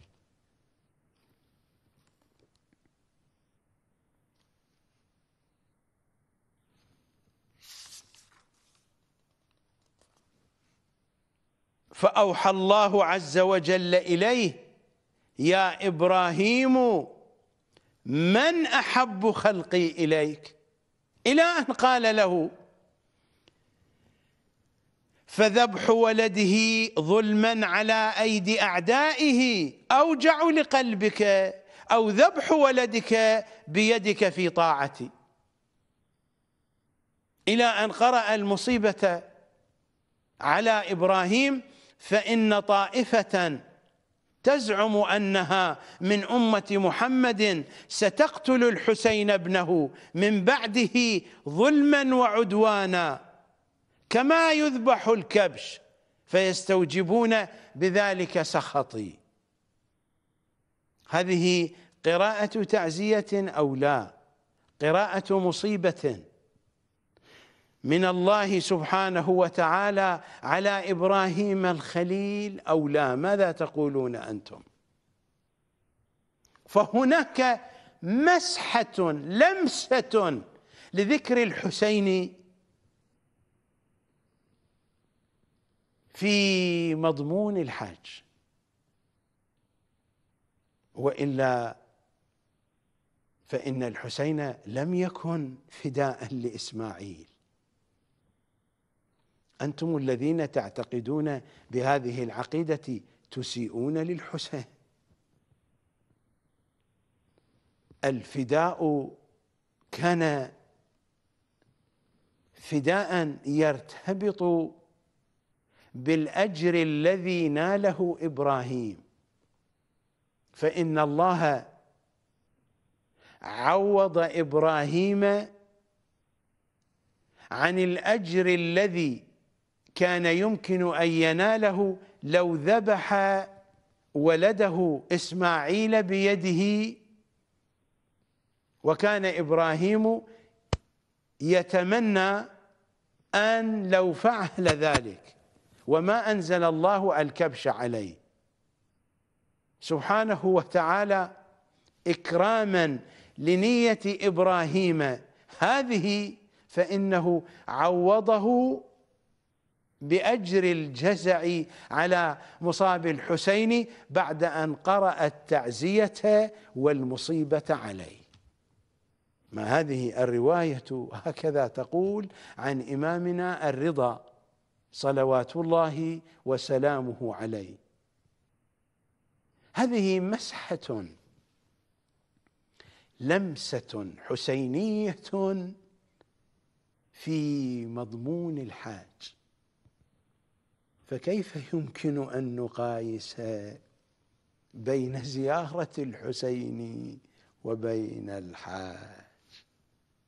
كيف يمكن أن نقايس بين زيارة الحسين الحسين الحسين وبين الحاج؟ الذي أشرف ما فيه من أجر ناله إبراهيم أبو الحاج. أن نال أجرا على مصيبة الحسين بعد أن سمع قراءة التعزية والمصيبة من الله. هذا هو حديث إمامنا الرضا صلوات الله وسلامه عليه. قارنوا قارنوا قارنوا بين هذا المنطق الذي يطل عليكم من شاشة قناة القمر وبين الهراء الذي تسمعونه من الفضائيات الأخرى من الشعراء من الرواديد من الخطباء من وكلاء مراجعكم الثولان. قارنوا قارنوا بين هذه الثقافة الأصيلة الزهرائية الواضحة وبين الهراء الذي تتعلمونه من أولئك الحمير من أصحاب العمائم. نذهب إلى فاصل.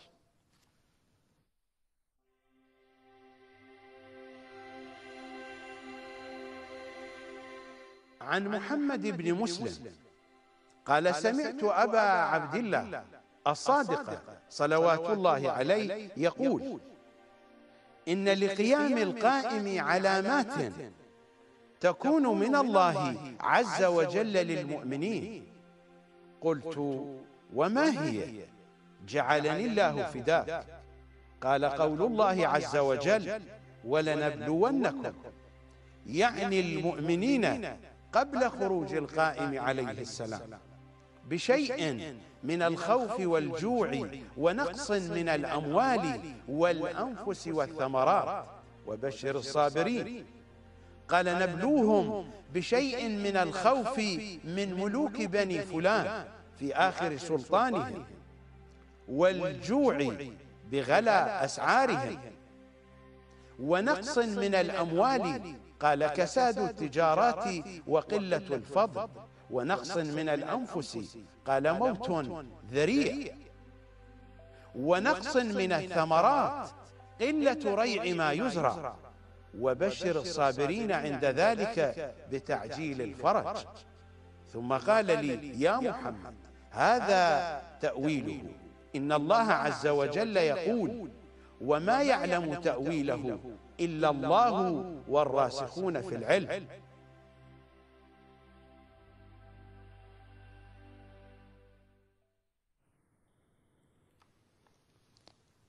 سأقرأ عليكم نماذج من الأحاديث التي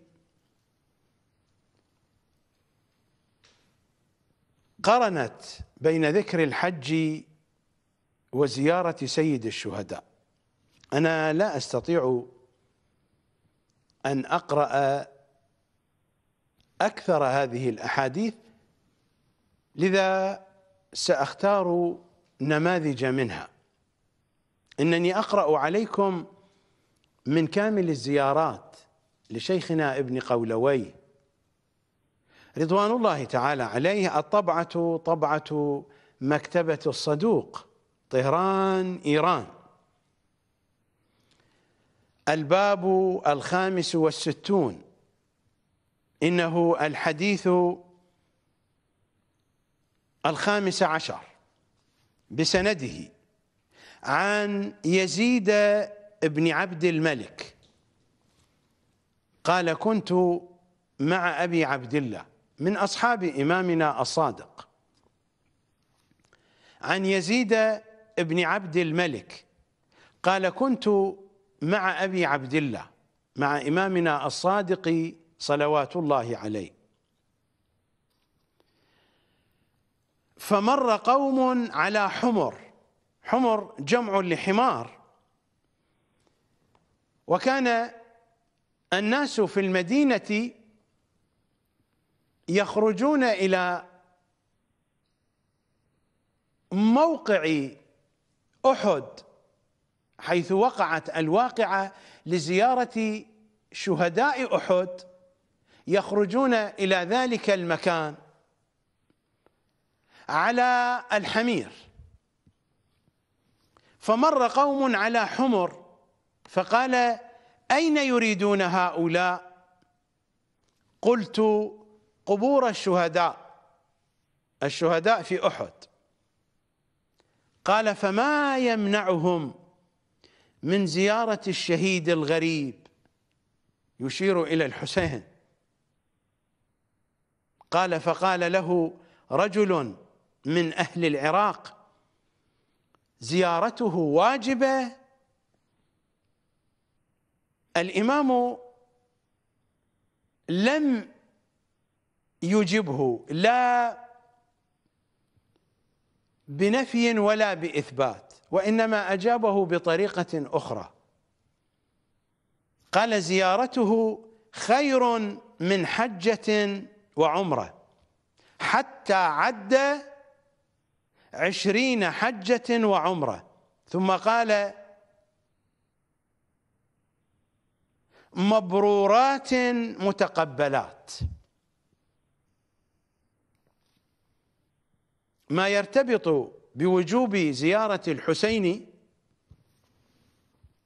في الكتاب نفسه في المصدر نفسه في كامل الزيارات أقرأ عليكم بعضا من الأحاديث الشريفة ما جاء في الباب الثالث والأربعين الحديث الأول بسنده عن محمد بن مسلم عن إمامنا الباقر صلوات الله عليه مروا شيعتنا مروا أي أصدروا لهم الأوامر إصدار الأوامر دلالته واضحة على الوجوب مروا شيعتنا بزيارة قبر الحسين. لماذا؟ فإن إتيانه مفترض. وهذا بيان لما دلت عليه أوامر الإمام للشيعة بزيارة الحسين.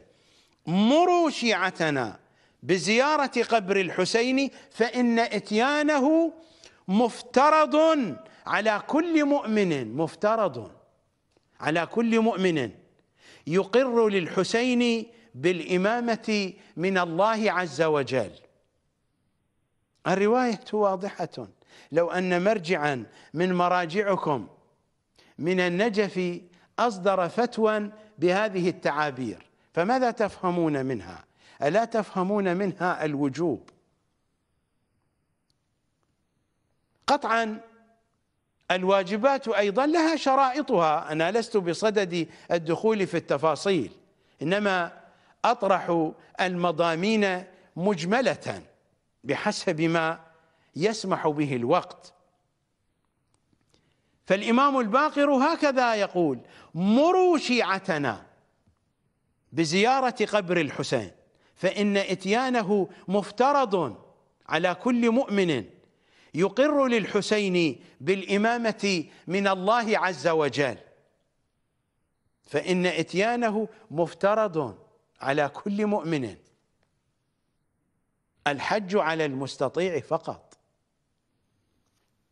الحديث الثالث.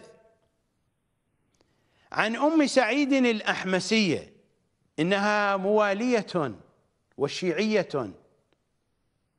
من شيعة إمامنا الصادق. صلوات الله وسلامه عليه. عن أم سعيد الأحمسية عن إمامنا الصادق صلوات الله وسلامه عليه الإمام يقول لها يا أم سعيد تزورين قبر الحسين؟ لأنها عراقية. أم سعيد الأحمسية شيعية عراقية. يا أم سعيد تزورين قبر الحسين؟ قالت أم سعيد قلت نعم. فماذا قال لها الإمام الصادق؟ زوريه زوريه زوريه. فإن زيارة قبر الحسين واجبة على الرجال والنساء. هل تريدون نصا؟ أصرح من هذا. يا أم سعيد. الإمام يتحدث مع أم سعيد الأحمسية. يا أم سعيد تزورين قبر الحسين؟ قالت قلت نعم. فقال لي زوريه فإن زيارة قبر الحسين واجبة على الرجال والنساء. العبارة دقيقة فإن زيارة قبر الحسين. لم تقل الرواية فإن زيارة الحسين لأنها ستكون من بعيد وستكون من قريب. أما زيارة القبر فلا بد أن تكون من قريب. زوريه زوريه يا أم سعيد فإن زيارة قبر الحسين واجبة. على الرجال والنساء. الحديث الرابع عن إمامنا الصادق صلوات الله وسلامه عليه لو أن أحدكم حج دهره لو أن أحدكم حج دهره في كل سنة من بداية تكليفه إلى أن يموت في كل سنة يذهب إلى الحج. لو أن أحدكم حج دهره ثم لم يزر الحسين بن علي لكان تاركا حقا من حقوق الله وحقوق رسول الله. لماذا يا صادق العترة؟ لأن حق الحسين فريضة من الله واجبة على كل مسلم من دون قيد الاستطاعة. التي في الحج.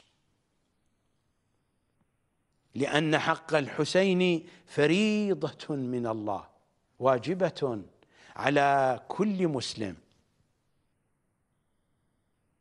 أعود إلى حديث إمامنا الصادق في الباب الخامس والستين. عن يزيد بن عبد الملك قال كنت مع أبي عبد الله مع إمامنا الصادق. فمر قوم على حمر فقال أين يريدون هؤلاء؟ الإمام الصادق عارف بغض النظر عن علم الإمامة والعصمة. فأهل المدينة يعرفون هذه القضية. من أن هذه الحمر ومن أن أصحاب هذه الحمر يعملون في نقل الزوار الذين يريدون زيارة قبور الشهداء شهداء أحد. لكن الإمام يريد أن يتحدث أن يجعل هذا سببا لكلامه.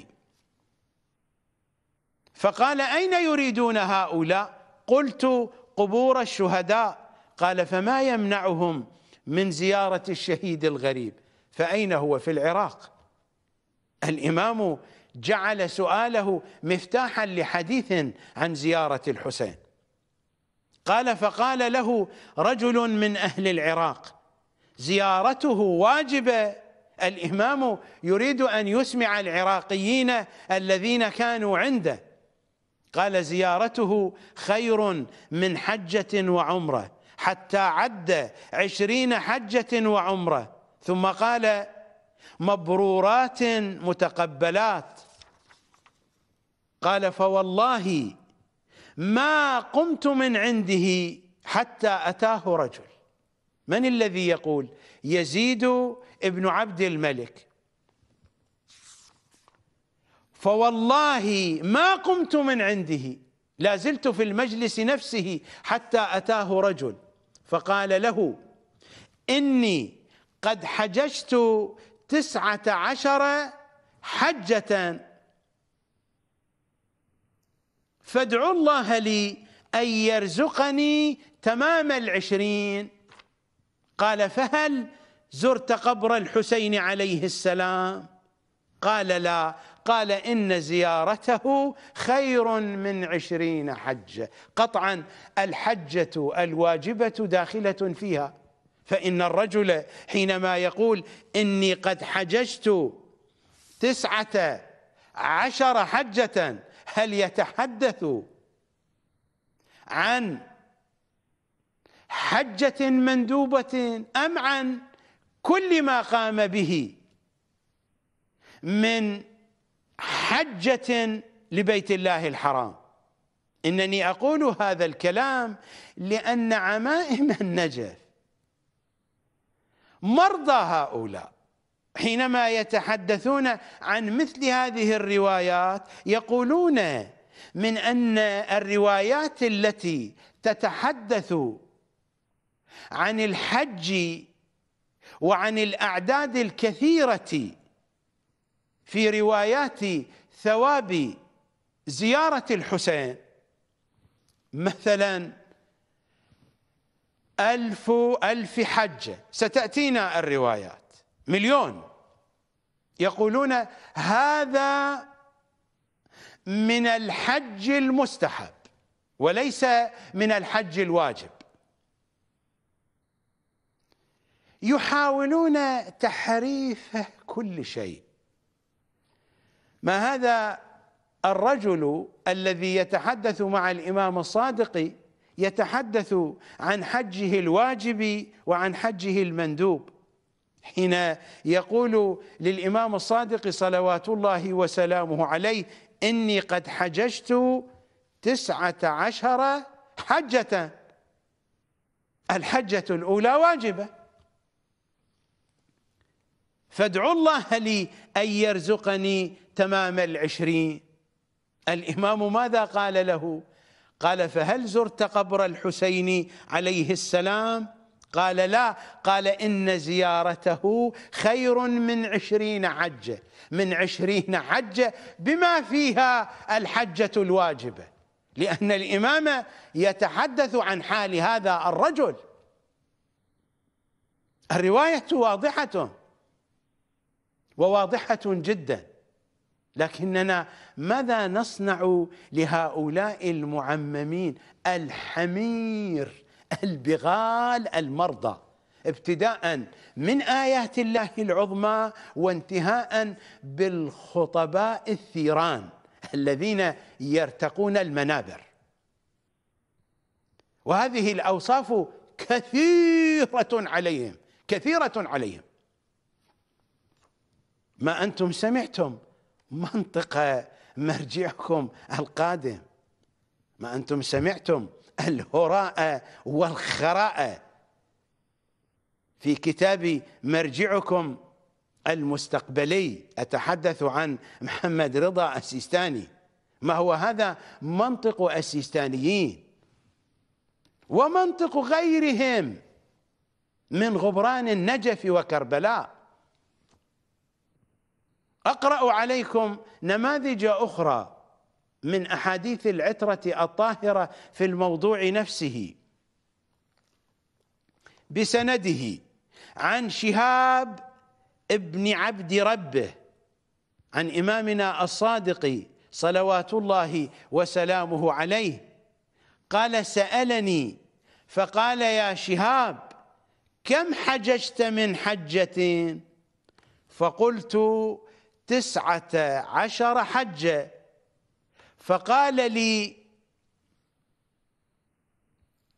فقال لي أتمها عشرين حجة لماذا تحسب لك بزيارة الحسين؟ الحجة الأولى واجبة. الرواية جميلة جدا. الإمام هو الذي يسأل شهابا هذا. الرواية التي تقدمت الرجل هو الذي تكلم. فقال إني قد حججت كذا وكذا. هذه الرواية الإمام هو الذي يبادر. كي يسأل شهابا هذا. يا شهاب كم حججت من حجة؟ فقلت تسعة عشر حجة. فقال لي أتمها.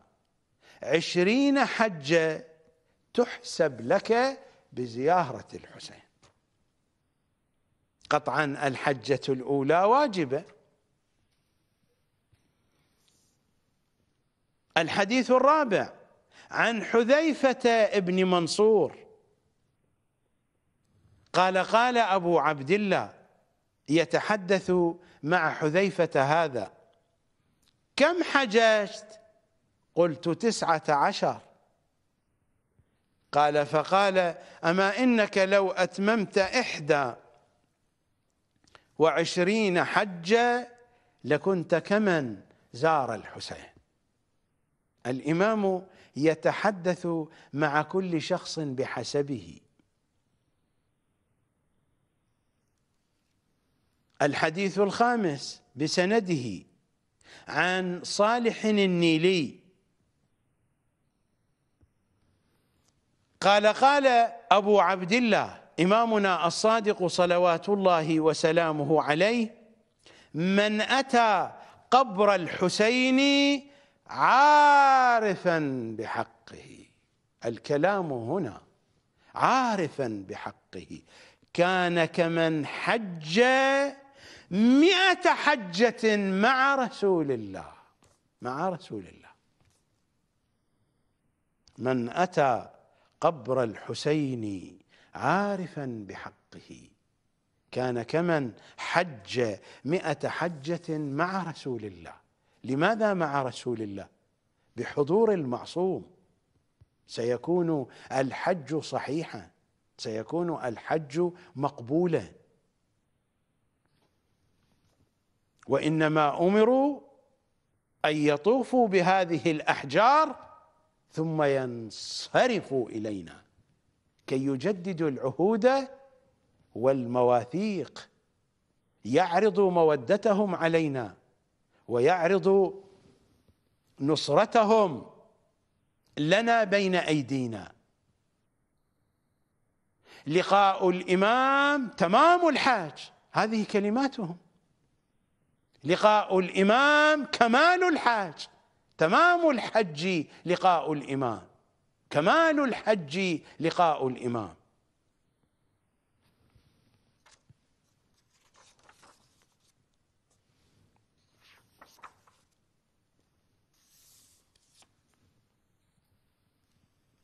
في زيارة عرفة الباب السبعون الحديث الثالث صفحة 187 عن إمامنا الصادق صلوات الله وسلامه عليه الذي يحدثنا علي بن أسباط عن بعض أصحاب إمامنا الصادق. إن الله تبارك وتعالى يبدأ بالنظر إلى زوار قبر الحسين عشية عرفة. الإمام الصادق هو الذي يقول يحدث أصحابه إن الله تبارك وتعالى يبدأ بالنظر إلى زوار قبر الحسين عشية عرفة ليلة عرفة. قال قلت قبل نظره لأهل الموقف لأهل الموقف في عرفة في الحج. قال نعم. قلت كيف ذلك؟ قال لأن في أولئك الواقفين في عرفة لأن في أولئك أولاد زنا وليس في هؤلاء أولاد زنا. القضية واضحة جدا. طهارة المولد ترتبط بعلي. ما هو علي؟ المشكلة. المشكلة علي. المشكلة علي وحل المشكلة علي. مشكلتهم علي وفوزنا ونجاتنا علي. إن الله تبارك وتعالى يبدأ بالنظر إلى زوار قبر الحسين عشية عرفة. قال قلت قبل نظره لأهل الموقف. قال نعم. قلت كيف ذلك؟ قال لأن في أولئك أولاد زنا وليس في هؤلاء أولاد زنا. الحديث الرابع من الباب نفسه من الباب السبعين. بسنده عن عبد الله بن مسكان. إمامنا الصادق يقول إن الله تبارك وتعالى يتجلى لزوار قبر الحسين قبل أهل عرفات ويقضي حوائجهم ويغفر ذنوبهم ويشفعهم في مسائلهم ثم يثني أهل عرفة فيفعل ذلك بهم إذا كان إمام الزمان موجودا. إذا لم يكن إمام الزمان موجودا فلن يكون شيء من هذا. إذا كان إمام الزمان قد حضر الموسم. لماذا البداية من الحسين؟ لأن الحسين هو الأصل. والحج فيه مسحة حسينية. فأين المسحة الحسينية؟ تعزية قرأها الله لإبراهيم وترتب ما ترتب عليها. أما هنا في كربلاء هنا الحسين بنفسه هنا الأصل. إن الله تبارك وتعالى يتجلى لزوار قبر الحسين قبل أهل عرفات ويقضي حوائجهم. ويغفر ذنوبهم ويشفعهم في مسائلهم ثم يثني أهل عرفة فيفعل ذلك بهم. الحديث الخامس بسنده عن يونس ابن يعقوب ابن عمار عن إمامنا الصادق صلوات الله وسلامه عليه من فاتته عرفة بعرفات. في موقف الحجيج. في مكة هناك. من فاتته عرفة بعرفات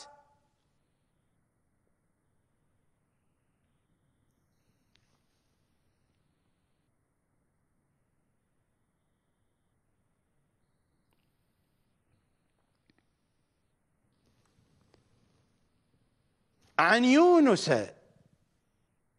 ابن يعقوب بن عمار عن إمامنا الصادق صلوات الله وسلامه عليه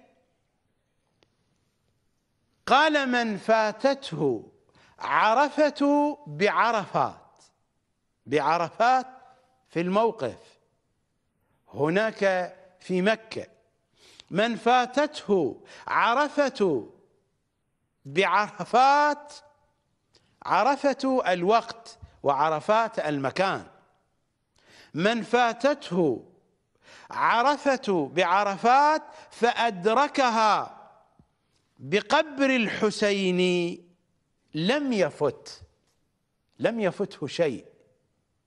وإن الله تبارك وتعالى ليبدأ بأهل قبر الحسين قبل أهل العرفات. ثم ماذا يكون؟ ثم يخالطهم في نفسه. هذا الجزاء لا يحسب بالحج وبالعمرة. هذا الجزاء لخواص أولياء أهل البيت حسابهم ليس له من وحدة قياس. ثم يخالطهم في نفسه. الله يخالطهم. يخالط زوار الحسين.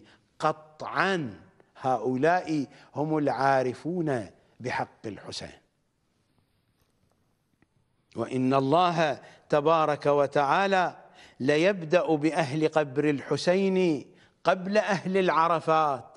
ثم يخالطهم في نفسه. نذهب إلى فاصل.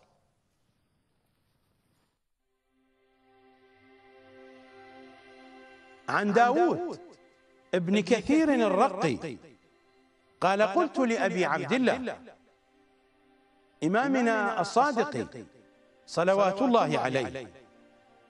ما معنى السلام على رسول الله؟ فقال إن الله تبارك وتعالى. لما خلق نبيه ووصيه وابنته وابنيه وجميع الأئمة وخلق شيعتهم أخذ عليهم الميثاق وأن يصبروا ويصابروا ويرابطوا وأن يتقوا الله ووعدهم أن يسلم لهم الأرض المباركة والحرم الآمن. وأن ينزل لهم البيت المعمور. ويظهر لهم السقف المرفوع. ويريحهم من عدوهم. والأرض التي يبدلها الله من السلام. ويسلم ما فيها لهم. لا شية فيها. قال لا خصومة فيها. لعدوهم. وأن يكون لهم فيها ما يحبون. وأخذ رسول الله صلى الله عليه وآله على جميع الأئمة وشيعتهم. الميثاق بذلك. وإنما السلام عليه تذكرة نفس الميثاق. وتجديد له على الله. لعله أن يعجله جل وعز. ويعجل السلام لكم بجميع ما فيه.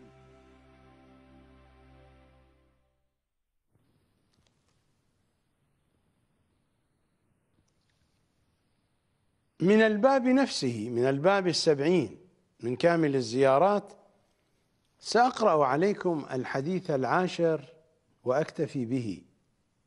كان في نيتي أن أقرأ أحاديث أكثر لكن وقت الحلقة صار طويلا. سأقرأ هذا الحديث وأكتفي بما جاء فيه. بسنده عن يونس بن ظبيان عن إمامنا الصادق صلوات الله وسلامه عليه من زار قبر الحسين يوم عرفة كتب الله له ألف ألف حجة مع القائم مليون. كتب الله له ألف ألف حجة مع القائم.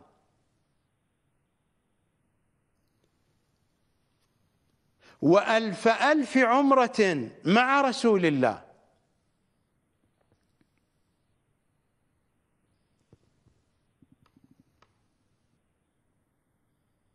وعتق ألف ألف نسمة. مليون نسمة. وحملان ألف ألف فرس في سبيل الله. مليون فرس يقدمها بكامل عدتها في سبيل الله.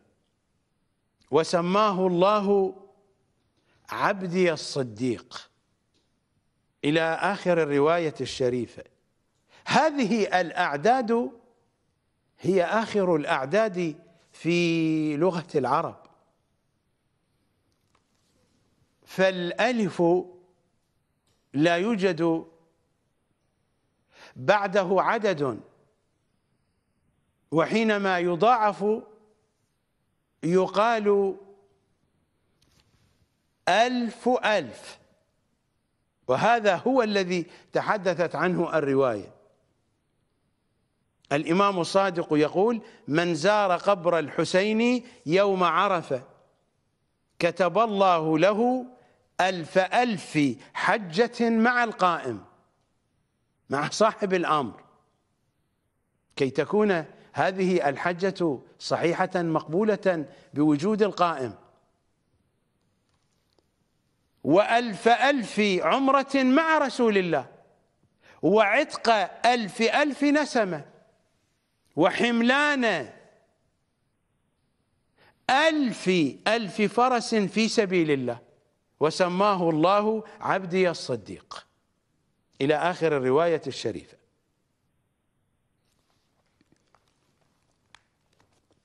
كل هذا لابد أن نتذكر من أنه في جانب وفي فرع من فروع ثواب زيارة الحسين.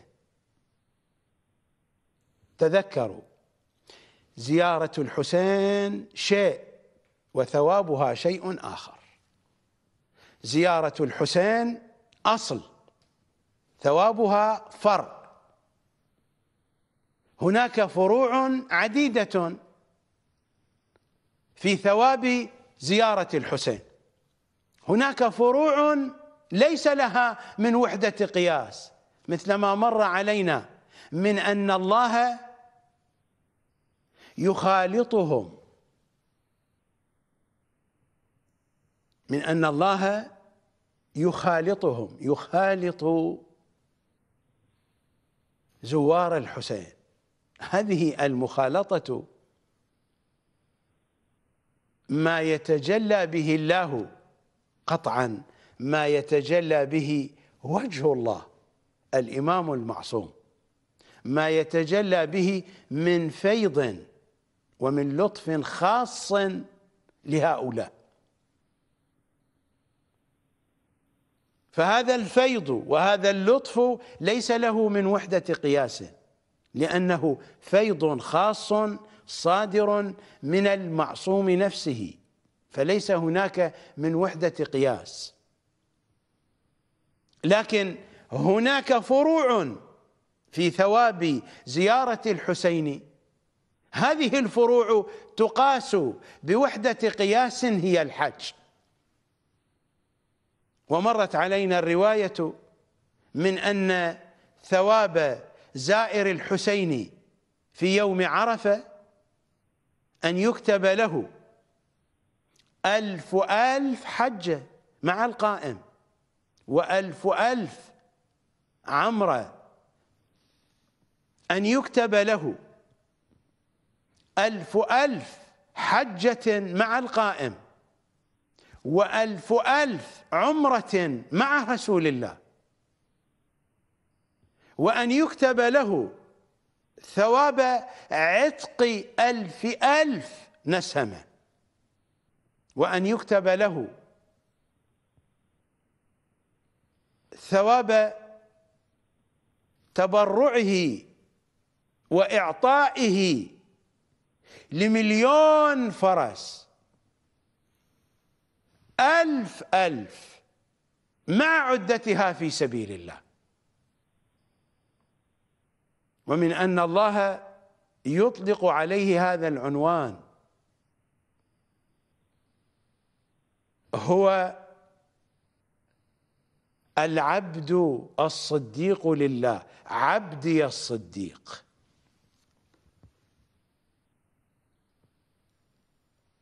هذا كله يرتبط بزيارة الحسين التي هي مهمة بالنسبة لنا.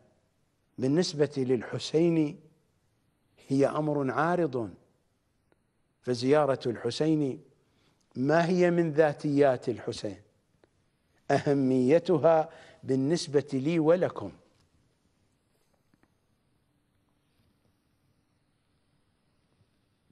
فكيف يقول هذا؟ أتحدث عن مرجعكم المستقبلي من أن الحج مقدم على ولاية الحسين على ولاية الإمام المعصوم. هذا هو الفارق بين منطق حوزة النجف وبين منطق شاشة القمر. من هنا كانت المنافرة. ومن هنا كانت المضادة. فمنطق قناة القمر يسير في اتجاه يختلف بدرجة مئة بالمئة مع منطق حوزة الطوسي. أعتقد أن الأمر بات واضحا وأنني أجبت على السؤال ما علاقة الحج بزيارة الحسين. نلتقي غدا. إن شاء الله تعالى أسألكم الدعاء جميعا في أمان الله.